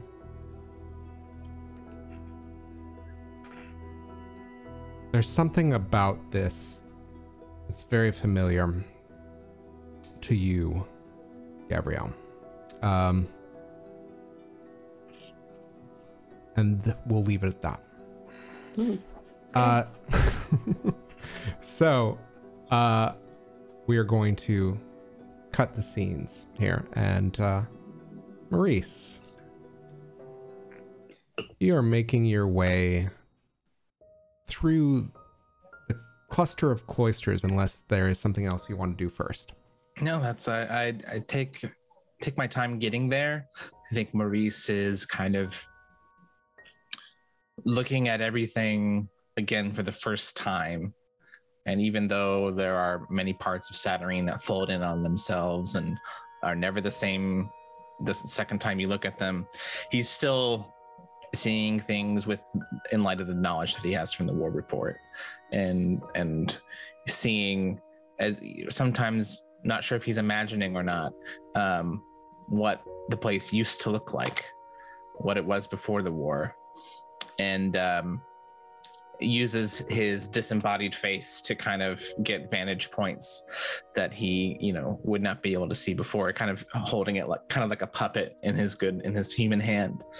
Um, and then walks to the Confederacy of Cloisters to see the statue of Nahiran, and he wants to take it all in and see what he can see see what strikes him as different see what looks familiar see what what doesn't look familiar Okay. So, I'm going to change to the path here, and I'm going to draw a couple cards. One for, you know, when you entered, if anything special happened.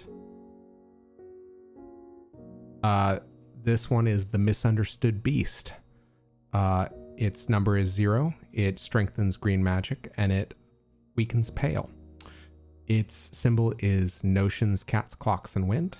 Its meanings are mistakes, gentleness, friendship, danger, and betrayal. The misunderstood beast is a gentle giant, not a murderous monster. It seeks our friendship, not our flesh. Can we see past its physical nature and ascertain its truth? Will we even try? Snap judgments can result in horrific mistakes. We judge something by its appearance or simply by the initial reaction it churns in our heart. But the real truth of a thing can rarely be ascertained so quickly.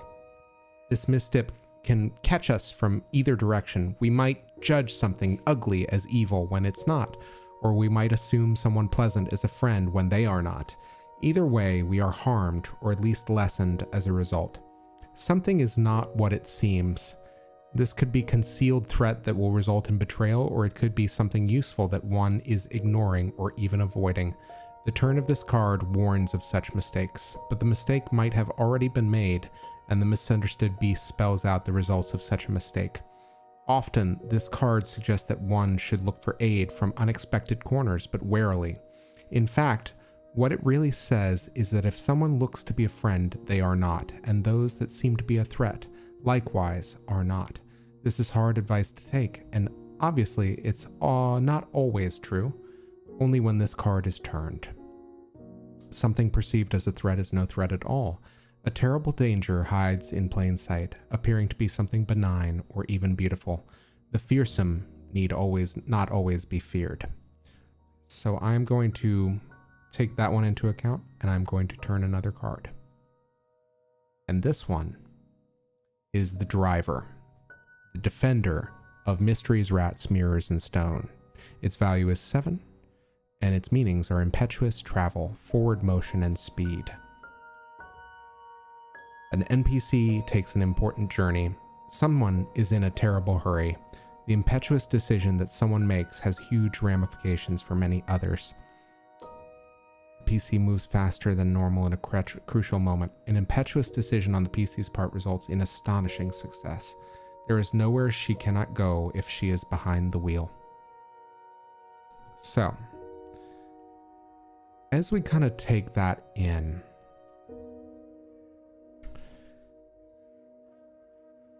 you try to look with eyes that you don't remember having at this place. And it's easy for you to picture in your mind's eye a place that is not suffused with wreckage, with the remains of a horrific calamity or conflict or war. It's simple to see where grass grew or where trees um, sprouted up in between each of the churches as they were built on and places of worship as they were built on top of each other. You can see in your mind's eye hundreds, if not thousands, of people trafficking through this district every day as opposed to the dozens that you see wandering the streets now there was less of a dire air in this place, less doomsayers, less seers preaching repentance and the need for uh, us to accept the ruined expanse. I think it was overall a more hopeful place. And in lieu of this memorial, you could see a meadow, a garden, something celebrating the growth of life rather than its end. And I think as you are trapped in this reverie for a moment, can I ask you to make me a resistance roll, level six? Yes. What is my resistance? I get plus one to that. Okay. That's only a four. What moment of nostalgia comes unbidden to you in this moment of vulnerability? I think Maurice is actually thinking of the gray in this moment. He's thinking of a vacation he went on uh, by himself, the first vacation he took by himself, where he uh, took an old car up to a cabin to write his first novel. And the meadow that he was picturing in light of this statue is similar to the scene that he saw there. This wonderful, peaceful time of uh, self assuredness and creativity. Uh, there is a moment where you have um, that nostalgia and you feel almost the color leaching out of it and then you hear a yeah as something gets yanked off of you. Um, and behind you you see um, a figure that is familiar to you um, a brawn a uh, maker of uh, that you recognize, and I think in this moment you have this unsettling experience of looking at somebody uh, who you used to know prior to what they uh, did in the Changeries. Uh, so at one point they um, had been a youngish man, uh, probably mid uh, to early 30s when you knew them. Uh, they uh, were very able-bodied. You watched them through Kieran's eyes age into um, just a, a, horrifying kind of mangle of times and temporal displacement. Um, and now you see them as probably a result of their ex- uh, his experiences during the world uh, war uh, as a mishmash of kind of these ramparts, miniature in size but large enough to um, replace the whole of his torso uh, as well as kind of these constellations of um, cannons uh, over on one side, as you realize that he has changed himself to better defend himself uh, from any possible avenues of attack. Uh, and he is holding in his hand a uh, flopping, twisting gray eel of uh, some sort, and he very quickly smashes it against the ground uh, and uh, un- continues until it stops moving. And uh, he looks at you and says, "I'm sorry, friend. I I spotted this. Uh, it seemed to have attached itself to you. That's a choice." And he's uh, looking at your lack of a face. Uh, Maurice brings up his face and, and puts it back on, and says, "Thank you very much. What? Wait, what is that?" Uh, and he pulls it up and he looks, uh, I believe this is a memory eel. Uh, uh, it tends to elicit strong memories in people so that it can feed on them. Um, Maurice reaches out to grab it with his tentacle arm. Yeah, and you do this, and it is. Um, I don't think it is alive anymore, as uh, uh, I believe um, Abron has smashed it very well. Um, what do you do with it? Uh, Maurice just inspects it and then uh, looks back to Abron and says, I imagine they do very well at memorials and other places like this. Uh, too right, unfortunately. Uh, can... Thank you very much, friend. Absolutely. Uh, it's a surprise to see you again. I was hoping you'd remember me. It's been a minute. Uh, I some time, but uh, old soldiers, we have our haunts, as it were. Indeed, we do. How are you these days? How's uh, how's time treating you? Well, as much as an old soldier can expect. My limp hasn't gone away, but uh, that's another changery visit at some point. Do you ever do you ever miss taking orders? You, I sometimes find it to be a burden to be responsible all by myself. Oh, absolutely. I could have somebody take over everything for me. I don't have to think about anything. Where to go, where to sleep, where to eat, what to eat. Yeah, maybe a tailor. Uh, yeah. What I started to comment on my duds and he um, gestures towards the suit that is underlaid over uh, his uh, torso somewhat awkwardly. Uh, as uh, and you realize that this conversation you're having is with seemingly a normal volume voice of a soldier speaking out uh, the uh, one of the parapets of this fortress that makes up his torso. Not at all. Not at all. You look very safe. Um, no, I I was talking about who you used to take orders from. The and, tailor. Uh this you I think you see the um the man on the rampart kind of cock its head very microscopically. Um, can you make me a um, interaction roll? Sure. And I do have a, a vex to this, both for the suit and the tentacle arm. Uh, I'm gonna use one. Okay. So you feel free to use uh, uh, your uh, expansive endeavor as well. I will use both of those. So Net plus one, and that's a two. Uh, okay. Yeah, I think um, you don't know for sure if he's putting on an act for you or if he just legitimately doesn't know hmm who you're talking about. But he doesn't register any kind of recognition. Forgive me, I. Old minds. Oh, Sometimes we don't have control over what goes through them. oh, I know that all too well. So, um, can I interest you in lunch? Maybe a drink nearby, or Oh, I'll have to take a rain check on that, I'm afraid. I just wanted to take another look. It is. It's been It's- a minute. Yeah. It is something, isn't it? And he's looking at this um, magnanimous uh, looking sculpture.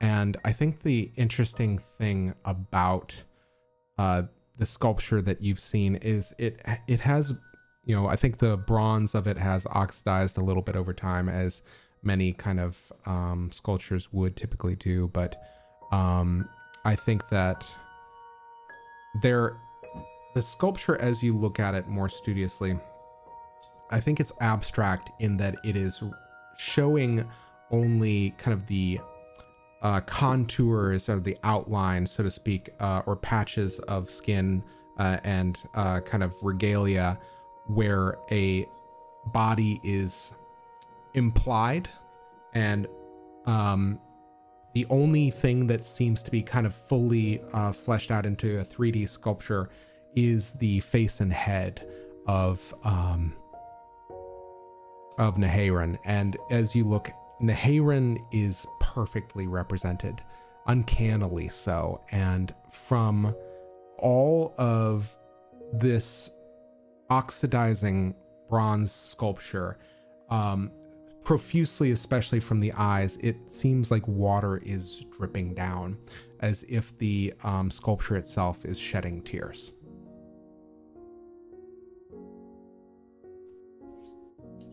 Remind me, I, I know I asked you last time. Do, do you remember Naharan? I'm going to turn a card to see just how much he remembers.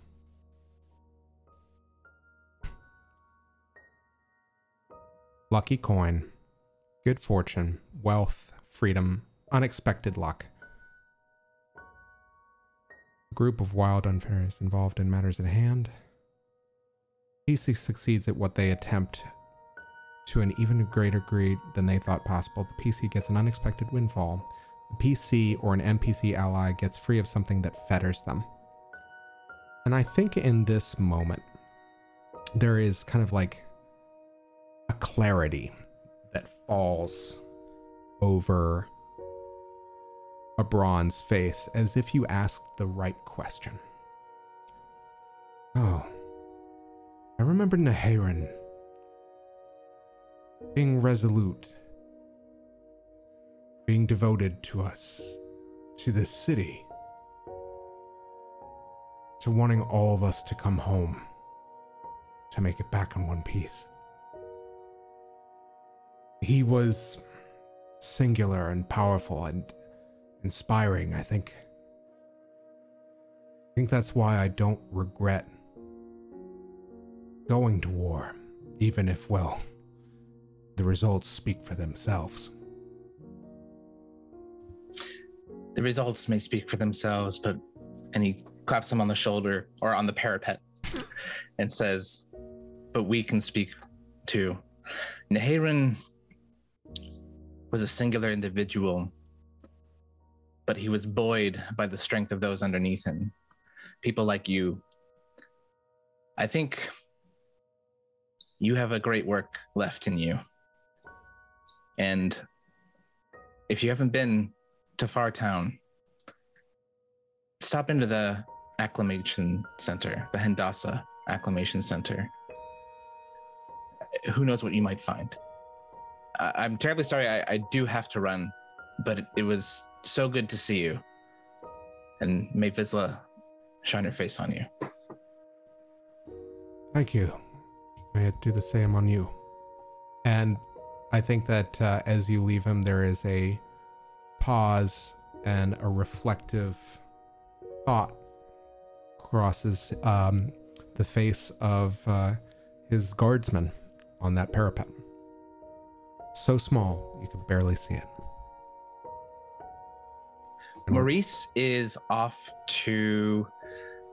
Uh, actually, he he he rounds the corner. He walks away from the the statue, and then thinks for a moment, and looks around. What does it look like on the outskirts of the cloisters? On the outskirts of the cloisters, I think that you see a great deal of um, some of the choke of the um, ruined expanse, but um, if I can refer to my map at some point. Uh, I think that, uh, yeah, I think you see several other districts. Just need to find the primary map. But yes, um, what are you looking for? I should ask. So, like, what what is what's the general like? Like, are there are there stores and stalls? Are there is it residential? Is it abandoned? Is it industrial? I think there's a great number of uh, residences of uh, partic- particularly of clergy um, for uh, any of the uh, numerous uh, religious institutions dotting the Confederacy of Cloisters. Um, and I think that if you want anything that is specific to a store or a stall is going to uh, uh, provide religious icons of some sort Hmm. or any kind of other religious offering. Um, Maurice makes his way to. Um, where was Kenroy's uh, ashram? Uh, I think Kenroy's ashram. Yeah, I think it was a little bit on the outskirts there. If you would like to make your way there. Sure. Uh, that's where Maurice is heading next. Okay. Uh, so, uh, does anybody have any other uh, things they want to accomplish uh, before we rejoin the rest of that scene, or would you guys like to um, let that play out?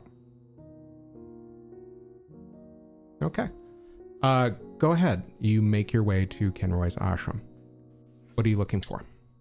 Um, looking for Kenroy, and Maurice kind of trepidatiously steps into the grounds and walks up to the interior of the of the residence. Okay. So I need to find something right quick. Right quick.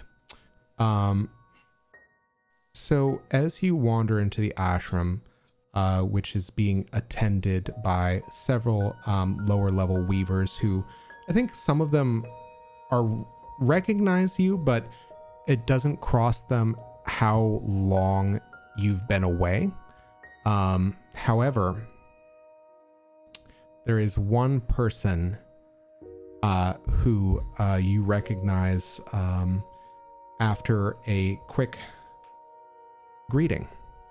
A woman's voice uh, speaks up from the middle of the ashram as you've kind of entered and says, Oh, Kenroy said you'd be here. He just was wrong about the timing. And you recognize Idora, one of the weavers of your cell who was there when you first attained the first degree. How have you been, Maurice? I don't quite know how to answer that question. How are you, Adora? Uh, and she doesn't wait uh, for anything. She moves forward to give you this great embrace. Maurice returns it. Um, she has tight, uh, tight, closely cropped hair. Um, her uh, dark skin, uh, she has mounted over um, her figure, uh, kind of this very odd looking um, uh, kind of linen uh, garment that kind of swoops out almost like a wingspan of some, uh, like a flying squirrel of something. Um, it's beautiful and it's decked on either, and it's kind of um, punctuated on either side by these kind of brass um, bangles uh, uh, as uh, she kind of steps back and kind of almost take you in entirely. You remember when we used to eat pie together and not have a care in the world? I would very much like to go back to those days. And, she says, "Come in, let's talk. It's been a while." It has. I I'm afraid I can't stay very long. Is Kenroy here? So no one's told you. It's been a while. So, um, Kenroy and Master Rajothmos, they left some time ago on a journey. Um, they traveled to the Sea of Abstraction. Um, I think something about going to a half world to find another piece of research, but nobody's seen either of them since. I know, I do recall that that was the goal. What research, what were they working on exactly? Well, Rajothmos, I think, wanted to continue um, Kenroy's training, and in order to do so, I think that he wanted to help him find him a new aggregate. I believe it was the Infinity aggregate. He wanted to help him to embrace more of those higher understandings. At least that's what I what Kenroy told me. Thank you. I um, don't suppose they left any way of contacting them or. Well, um, I think there was a means by which I tried to get in touch, but it's no one's replied to it. Uh, and um, she gives you, uh, she kind of uh, leads you into um, the kitchen, um, where on one table uh, off to the side, kind of collecting dust, is you see um, an old timey radio. Um, very much kind of like akin to something you might have seen uh, uh, from the 1950s, uh, ostensibly in uh, the Museum of the Lie, uh, whatever kind of passes for that abstract concept there. Um, and she says, Well, this is a spirit radio, but it's been tuned um, to specifically look for someone. And you can usually get somebody to answer a question when you tune it to their frequency or you make the request of it, but no one has responded, neither Rajathmos nor Maurice, or to Kenroy. I. Is this common knowledge? Are people worried? Uh, Is there a search party? How, how long has it been? Well, it's been several months. Um, communications were fairly frequent. Occasionally, we would get a letter. Um, I am, of course, um, kind of running the ashram while the two of them are absent. But And you're doing quite a fine job. It looks great. how would you know? she just kind of like uh, gives a smirk. You haven't been here either. Actually, that was the next thing I wanted to talk to you about. Um, I'm a little bit fuzzy on the circumstances of my departure. Uh, I also think I left a few things here. Uh, what do you know? Oh, I, I, I only know what everybody tells me. Um, why? Is there something you need to pick up? Um, uh, my typewriter, if it's still here. Oh, yeah. I don't think we ever really kind of changed your room. I mean, we still have other students and guests, but I don't think anybody's moved in permanently. It's more for visitors. I had a student I was teaching, um, Mac. Um, where, where did he go?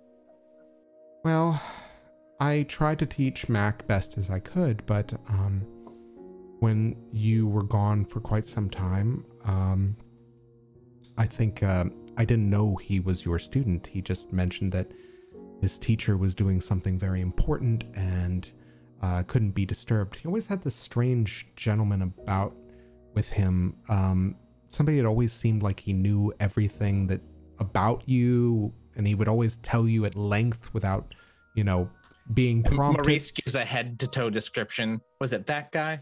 Oh yes, um, that's right, Basil. That was his name. Yeah.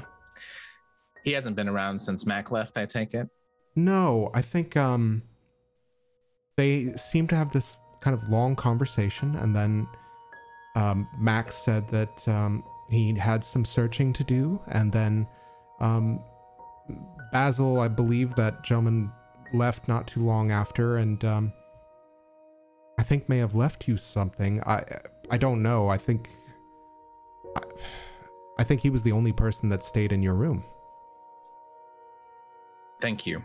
Um, last question. Yes. do you have any food I could take with me? Are you hungry for pie? Pie will do. In a to-go container, if you don't mind. Oh, absolutely. And um and Idora gets to work. Um and I think that this kind of represents the end of like the first day for all of you during this period of downtime. You still Uh, can I do one more thing before, as I'm getting home? absolutely. What would you like to do? Um, where, first of all, where is my house now? Where is your house? I believe it was in It Fartown where last we checked. Where last we checked? Mhm. Uh, I believe uh, as Maurice leaves the ashram, it, it's getting quite late, and uh, and the ashram is where again? Is it uh, topiary? Uh, the ashram is on the outskirts of Confederacy of Cloisters, I believe, is where we. Oh, it is. Okay. yeah. Um, um, I could be wrong. We might need to retcon that. But Sure. go ahead. yeah wherever that is um maurice um it's getting dark and a, a look of determination crosses his face and he looks and finds a place nearby that has a decent amount of foot traffic but isn't in the middle of everything and squints and shimmering into existence, his apartment building appears as he spends the acumen for the house secret. Yeah. Absolutely. And he looks quite pleased with himself. And as he walks in the front door, he takes out the pie and starts whistling um, and looking for the real life dog that has taken residence in his home. uh, the watchdog uh, appears not too long after, uh, and again, it uh, in the eerie light uh, of I think a couple of them as you kind of flick them on going into the apartment building again, that eerie large shadow is cast behind the dog, and it woofs at you. Not in a generally friendly way, but in one that's like, ah, you're here kind of tone. And it's like sorry i was gone so long and i know this isn't good for dogs but here and kind of slides the pie across the floor And the dog looks up, looks down at the pie, looks up at you, and then just darts into uh, its uh, muzzle into the pie and begins uh, really kind of having at it.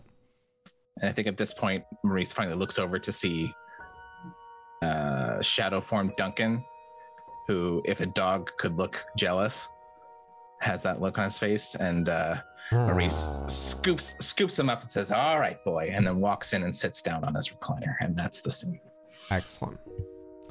All right. I'm going to turn off the music there. So, that is the first day of your week of downtime. Um, if anybody would we like to kind of fast forward any days, or is there more that everybody wants to get accomplished, or would you like to go to the oblong chamber directly? What's everybody's intent?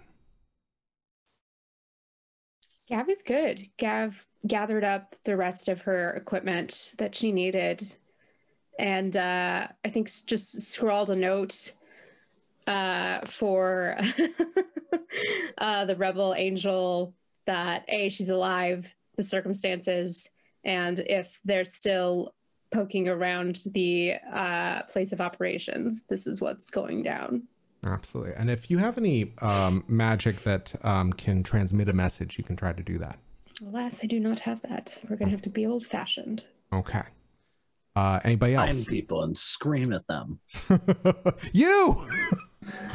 um, Um, I, I think Maurice wanted to meet up with um, Ashwin. mhm. That could probably be a side scene. okay. Um, but uh, every night, uh, Maurice uh, triggers the dream study Mhm. uh, to the point of his own detriment. If you do it two nights in a row, you begin to take uh, damage. Mhm. I believe it's ang- anguish.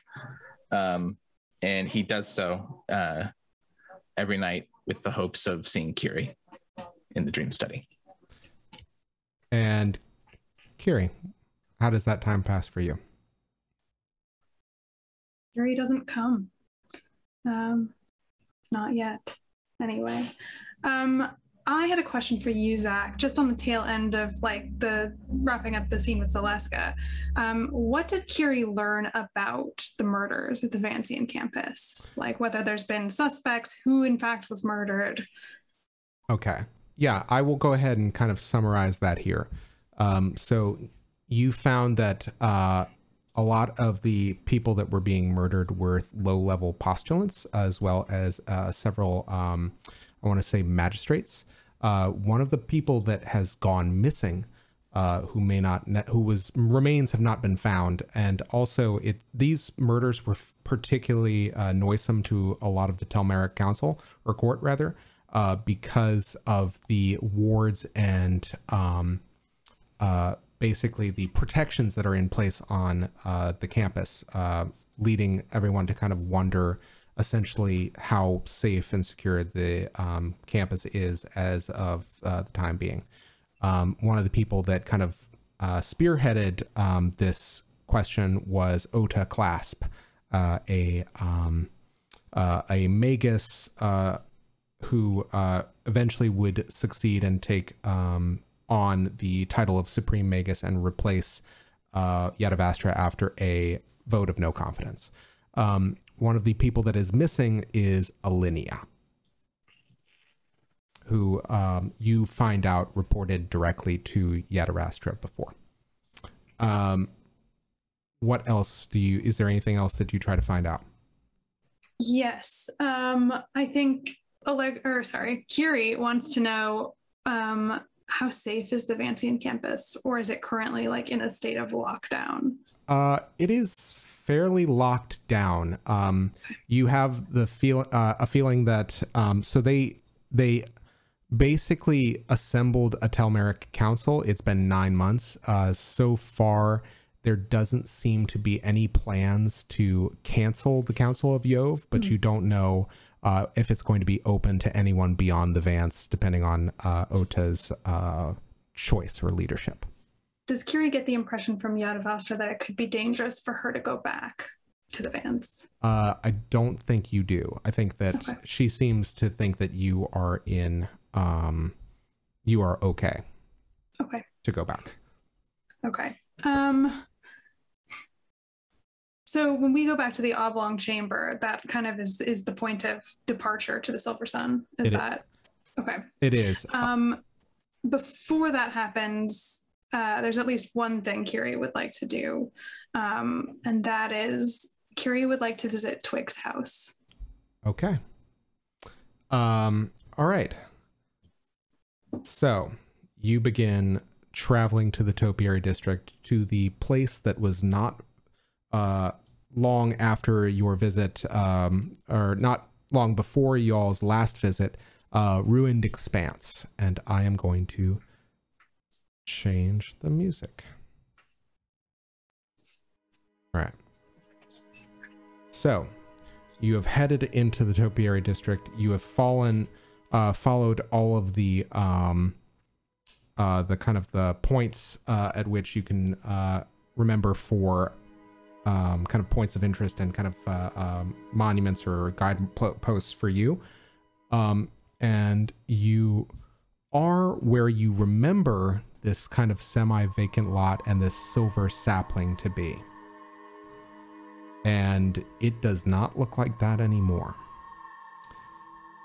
That vacant lot is festooned with growth on growth on growth of uh, trees, so much so, and and and vegetative growth and different species of all kinds of trees and uh, shrub, and not only that, um, it reminds you uh, in some ways of ivy or kudzu, but it's more like kind of like Japanese knot grass in some places. Just stuff that it just seems is so rapacious um, that it doesn't necessarily uh, uh, seem to have any kind of like way to kind of peer through this solid wall of vegetation.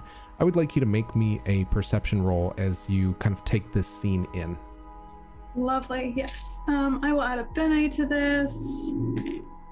And that's a seven, so eight. Okay. So as you are looking around and kind of like looking for a way in, uh, you notice that there are some discarded, um, con- like construction equipment, some broken implements of some sort.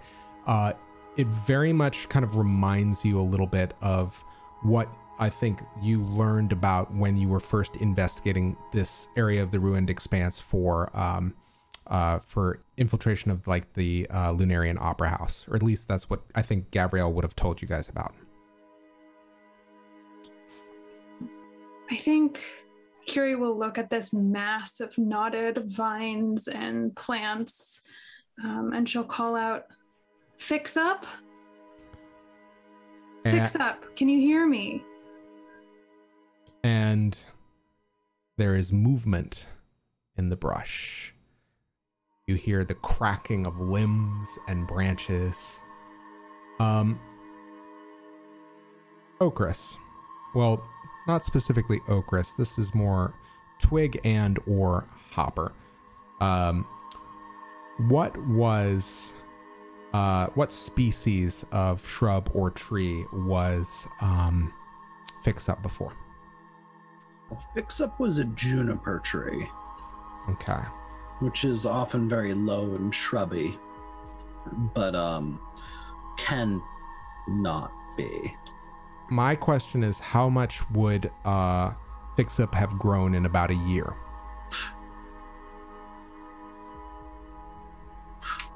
A little bird just reminded me that Fix Up was sage, not juniper, another delightful herb, which is a low plant and not, in fact, a tree.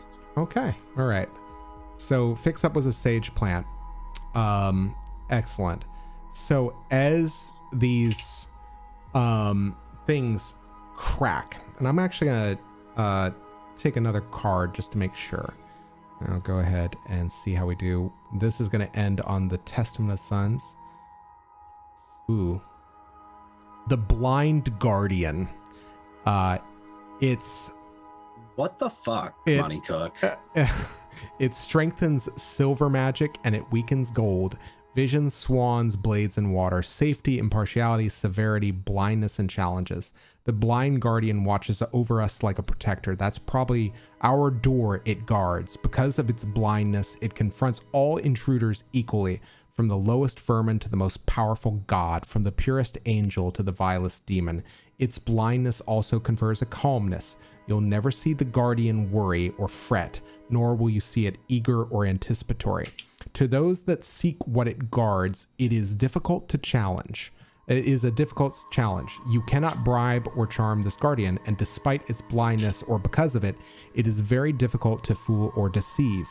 Although it can represent a challenge arising before one can proceed, typically this card is a positive turn, indicating safety or serenity. If some sort of authority figure or any judgment at all is involved, this card indicates that they can be counted on to be impartial. Rarely, it suggests literal blindness is involved.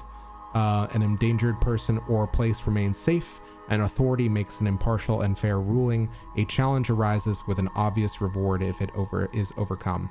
Crouching before the door, the guardian does not judge, only protects. Okay. And I think you were expecting this small sage plant. And you do see a small sage plant growing out of the trunk of a massive tree. Uh, it seems to have these fairly large, uh, about, let's say, this uh, length around limbs uh, that kind of are elongated and long. It seems to crouch under the brush of this as uh, it looks to confront you. Uh, and it has like this consternated look on its small shrub face in the heart of this hollowed out kind of carapace that it has grown around itself. Um, moss and lichen kind of coming festooning out of the joints. Uh, and it looks at you, and there is this kind of, I think it sounded like there would be a angry grumble that suddenly changes mid tone as it goes, Kyrrie? Kyrrie runs at Fix Up and throws her arms around its trunk. And then, yeah, I think that even as large as this thing is now, it's probably about six and a half feet tall. It kind of like almost kind of steps back out of surprise and then Kiwi and begins to kind of like move down to embrace. Um, just past it, you see through this hollow that is kind of carved through a large silver tree that you used to remember was a sapling. Kyrrie will extend her hand as she has done to fix up so many times before uh, to greet them, despite having hugged its trunk first, um, in a sort of gesture of remembrance and nostalgia. Yeah, and I think at that point, it kind of, all these joints kind of fold over yours very carefully.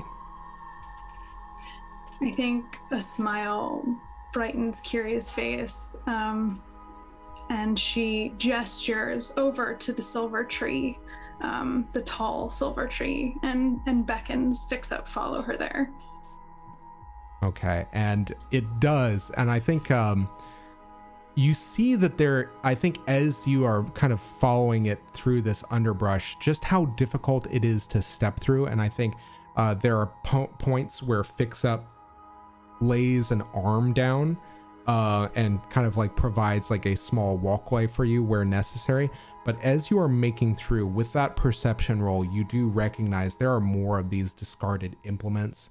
Um, there are sometimes it seems like shreds of clothing uh, torn on brambles as if, and then you see that there are dots of blood, not very large kind of um, uh, expenditures of blood that have like since turned brown and caked uh, kind of uh, with age um, that are uh, kind of scattered throughout some of these areas of the brush.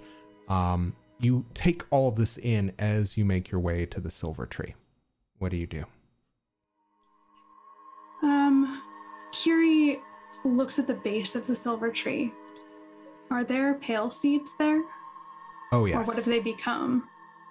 Oh, I think that I think that the silver tree itself uh, does not actually have um, gray pale seeds growing off of it, but all surrounding it are uh, pale seed plants, pale plants essentially, uh, with some of those skull-like pods uh, coming off of it. It's almost as if that uh, they're poking up through the roots of this silver tree. And Kyrrie and- approaches the base of the tree. Oh god. Yeah, I was gonna say, I, I when I say silver, by the way, it is the the trunk is solid metallic silver. Um, the leaves you can kind of see um, the. Uh, I think there's almost it's almost very fine like uh, silver leaf uh, that have these kind of spiraling circulatory systems of solid silver. Um, and yes, as you kind of reach forward, what do you do? Um, Kyrrie comes to the base of the silver tree and stands looking up at its wide, leafy branches. Um, and I think she reaches for a piece of fix up to like hold a branch of theirs, something that's at the level of her hand um, to maintain that connection. And Yeah. she says, I keep thinking of the moment that Twigg and I first came here. You know how you remember the strangest details about moments that you replay over in your head? How time slows and you want to hold on to everything, but the details fade and you feel their loss, the empty space that they leave behind. Oh, I was furious with Twigg, you know. I thought that, well, they thought that they could control my magic and send everyone to where they felt safe. They were an arrogant asshole. But I wouldn't let them. I resisted. And the next thing I knew, I smelled ash and asphalt baking in the sun and salt because Twigg was crying at this very tree. Do you remember that fix up? I do. And now the air smells like vegetation and sprawling, blossoming, wild growth. And all I can think of is the way that when Twigg found me in their house, this unlikely intruder with a gun, and you, just a, si- a tiny shrub, then, how they laughed. How the corners of their eyes crinkled up, quizzical and skeptical and caught off guard, and how they looked almost happy. Fix Up has taken a knee. Uh, and its sage face and its kind of like ring of this trunk is surrounding that same expression and it's looking deeply at you, rapt, listening to your words. Kyrrie's tone of address changes as if she were speaking to Twigg. I have all these pieces of you, all these things that you made, that you left behind. I keep getting flashes. Fortinbras in your hand, the pale seeds as you stuffed them into your grubby pocket, uh, that disgusting overcoat, the gentleness you had as you scritched Literalum under the chin and tussled Fix-Up's tendrils, and she gestures to Fix-Up's now wide canopy. And now they're here and they're looking to me, and I can't. I'm not a caregiver. I'm not. I'm not you. I don't know what to do. I don't know where to go, and you're gone. I don't know who I am anymore, and you've always managed to see that so clearly. You told me that the Vance, the campus, was a cage, and so I flew free. But now it hurts, and all I want is to go home, to go back to where my knowledge means something, where I know my way around and I'm useful. I need a new beginning, and well, that's what you're good at. And the worst of it is, I tried to save you.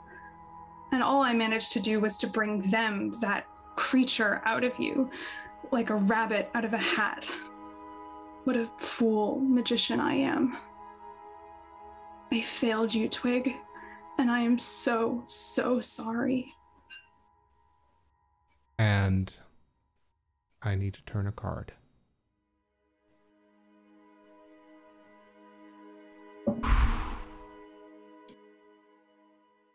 The compelling voice. The color is invisible. Secrets, ravens, books, and flame, its meanings are control and domination and persuasion. The right voice can command an army. In word or song, the compelling voice bids us to do something we might not do otherwise. It moves us, frightens us, appeals to our sense of reason. Those who master such a technology, uh, such a technique, have a weapon in their arsenal equal to any other. Because the Secrets family is related to books, however, it's worth considering that the voice in question might actually come in the form of a written message. The speaker might be an author instead. Mostly, however, compelling voice is considered to be the outsider of the Secrets family. The domination or persuasion inherent in compelling voice can be used both by and against the person in question. It can be a warning to beware honeyed words, or that someone you trust or interact with is actually being controlled by someone else. Alternatively, it can mean that you must use some persuasion to get what you want or need. An NPC uses influence over another to change a situation. Joy. An NPC listens to the PC's words and does as asked. We follow the voice. We are compelled by the words. There is a light that you see bathe Fix Up's face. And I think Fix Up, who was looking very sad, almost like a goldfish, its memory evaporates as it says, Ooh, pretty. And there's something else. As you understand the words and you use them, they travel very far to a distant place in the actuality. Twigg, as you are walking through this dense forest, you hear the loving and admiring words of a friend reach your ears. And you turn as if to listen to where they came from. And you look at your companion who is following closely behind you. And for a moment, you think you recognize their face. But when you turn back, memory eludes you. Oh, is everything all right?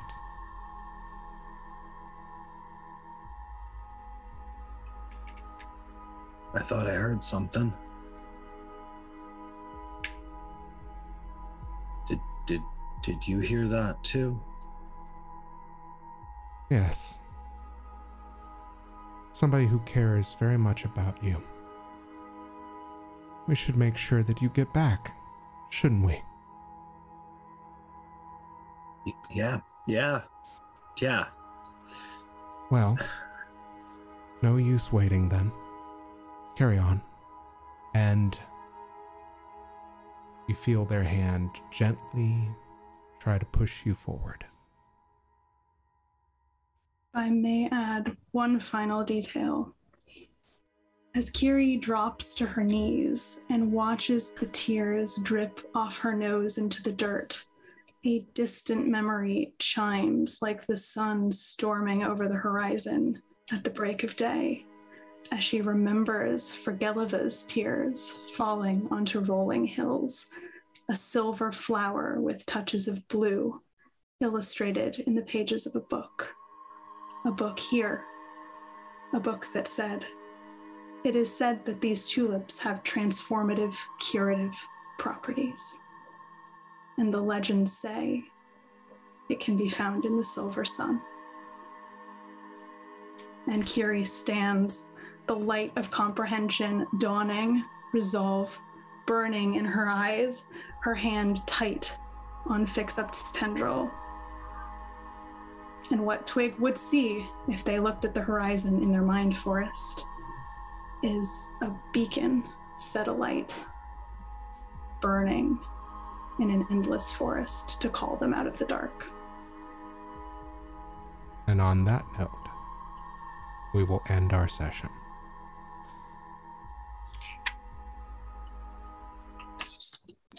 Guys, thank you. so you. good, Marissa. Marissa, so good. Well done. So, uh, guys, um, this has been a uh, pretty kind of low key, but very, I think, very important episode. Um, I'm going to just try to keep this brief. I asked everybody, we're just going to do five minute character recaps. Um, and we'll go ahead and start with Marcy, or not Marcy, um, Gavriel. Uh, yeah. Um, I, I think. Do you get a point of joy just for for not having done anything horrible? I think so. I think I think that's good, but also you got a new ally, or you know, uh, ally of convenience. That's worth some joy, right? Yeah, I think so. uh, take that and i think also um, i think remembering kind of the reason finding your your home again um, and also witnessing that omen together with somebody uh, go ahead and take that acumen as well did any um, character arcs transpire No. okay cool uh, maurice Um, I think Maurice, uh, overall, it's a joy. Uh, he is doing what he needs to do. Um, he knows that the you know road ahead is going to be tough, and and that his team is not doing well. Um, but there are others that he needs to take care of, and he's taking steps to do that. So I think that's a joy. Awesome. Take one joy and then uh, take an acumen for uh, finding out a little bit more about where uh, Kenroy is and also about uh, where Mac may have kind of taken off for. So, um, moving on over. Oh, Chris.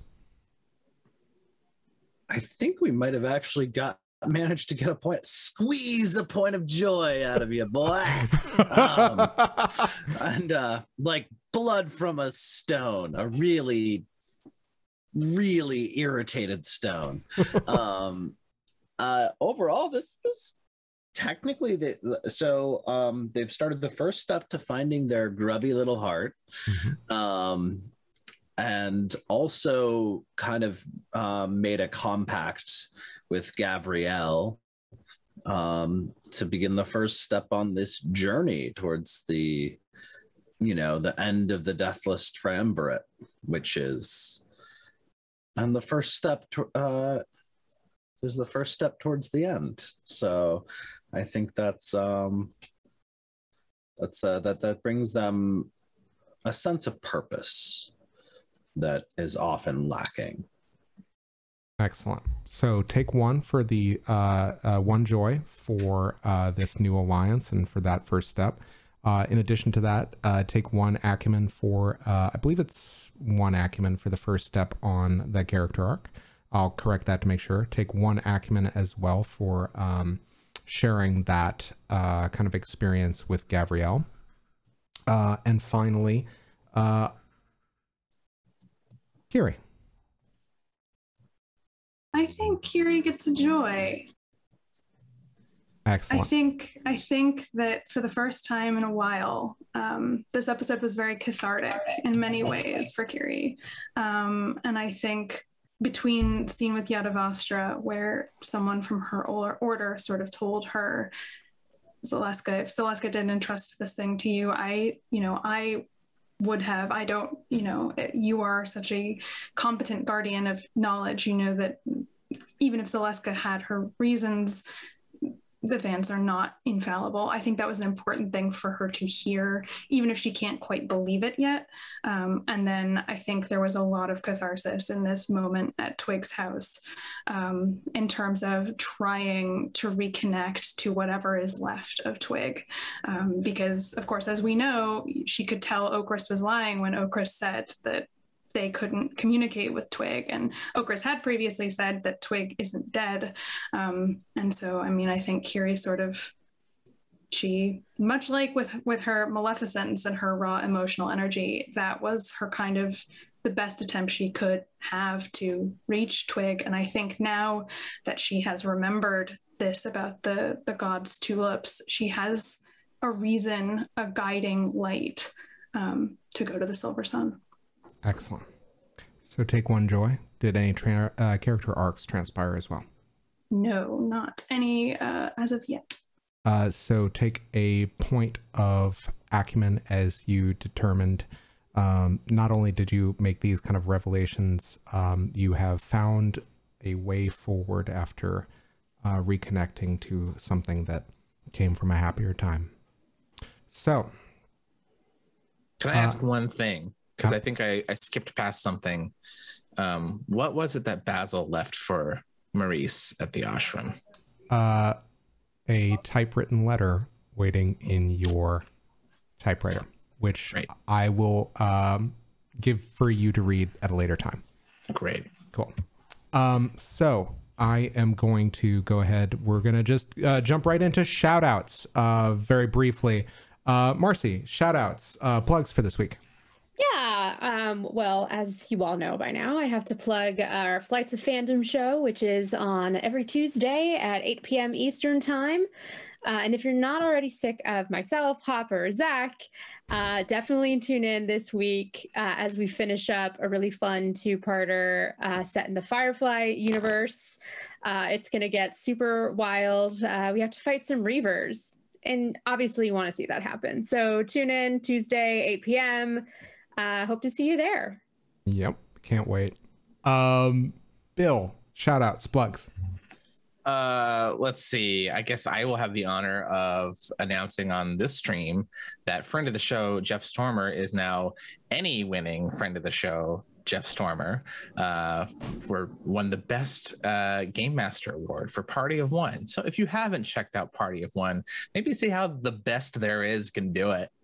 Uh, other friends of the show I'd like to shout out is Encounter Party. Uh, big things on the horizon from them coming very soon. Excellent. Uh, Hopper, shout outs and plugs. Well, fuck. Um, that was uh, everybody covered all my important shit. On a, um, I guess it's September. Um, I'd like to remind everybody that during September, uh, it is at least in the U.S., it is the National um, Suicide Awareness and or Prevention Month, and uh, shit be tough. Uh, it's hard. Shit's life's hard. Fuck it's really hard and uh sorry um uh, that's just my personal commentary you don't need to take that's not the takeaway the takeaway is that you should reach out to the people that you care about and the people that make your life um good and bring you joy and make sure that they're okay. And sometimes we drift away from people and and that's a natural thing but it's also okay to just reach out and be like sup fucker. Love you. Um and little things like that like just being aware of the people in your life and taking that moment of empathy. Don't just help them they help us be more connected to the people around us. And that's really what life's about. So um take some time tell the people you love you love them and uh, don't be a nazi. There we go. Absolutely. A, a truer words never spoken. Um finally marissa shout outs plugs um, just one, uh, echoing all of that. Um, the lovely folks who brought to uh, the game Good Society to you, Story Brewers Role Playing, have just launched their new Kickstarter for a game called Fight with Spirit, uh, which is a collaborative TTRPG about a sports team growing up together and fighting for their passion. Um, so in this game, you hone your skills, face down rivals, and strive to take your team to the national championships. And along the way, of course, as with any Story Brewers role playing game, you explore friendships, feelings, and the fleeting nature of your time together. Um, and so, literally, it is a game that can be about any sport. Um, it's designed for most. Uh, you know, like a team versus a team type sport. Um, but some of the unlockables for the Kickstarter are uh, ways to tailor it to both individual sports and asynchronous sports um, so that you can tell these stories really with any sport you want. So go check that out if that sounds great to you. Um, Storybrewers Role Playing, lovely group of people. Please support them in any way you can. Excellent. Um, so I have a couple shout outs. Um, first off, I would like to do something I neglected to do on the past uh, episode of Flights of Fandom and plug um, David Brunel Brutman's uh, game In the Dark, uh, which we have been using as an engine and uh, which he just released on his itch for uh, purchase uh, according to whatever price you want. Uh, he has done an amazing job and released, I believe, four play sets to go with it. Uh, we are currently using a custom play set called In the Verse, Into the Verse, uh, which is our own kind of Firefly themed one. Uh, so he's done a tremendous amount of work. You should patronize him and check out his other uh, really great games called at the itch called DBB uh, hyphen 8.itch.io. So check that out. I think uh, he really deserves uh, more attention than he's getting because he's pretty awesome. Um, second shout out is going to be to uh, Angel Citadel. So, guys, thanks so much for uh, joining us. Angel Citadel, Josh, Fesnerax, the fantastic. Thank you for your bits um, all of our regulars, but uh, especially to Angel Citadel, because we are getting to share the collective experience of Invisible Sundays with them going forward. And in 20 minutes, I believe Josh and uh, perhaps Joanne or uh, just Josh are going to be sitting down to take audience questions and to discuss uh, Kickstarters in the lounge of Angel Citadel. So uh, check that out. Uh, I have a really cool. Uh, oh, and Joanne is joining. So uh, have a really cool, uh, slow, uh, uh, kind of like nice discussion about uh, cool TTRPGs and stuff that we're seeing in the Kickstarter space. Um, for my own, I just want to say, um, you know, I love these moments that we get to share um, amongst ourselves, both as a cast and with you guys who are watching. Um, it's kind of an odd space to be in when we're kind of performing for an audience, but I don't think that that makes those moments any less powerful or significant. Uh, and you know, I'm always kind of a little bit um, moved and a little bit flabbergasted by um, what beautiful things you guys bring to this game, and it makes me tear up when um, you guys just do just amazing stuff. So thank you so much for letting me enjoy that and letting me be part of that. Um, so anyhow, before I completely lose it, um, I am going to say good night and I wish the best for all of you and for all of your friends. And I am going to echo uh, Hopper's sentiments about um, taking care of the ones you love. Uh, and I hope most of all that the invisible sun shines on you all. And uh, finally, also, don't be a Nazi. Don't ever do it. Why would you? Anyway, uh, we love you. Have a good night. Take care.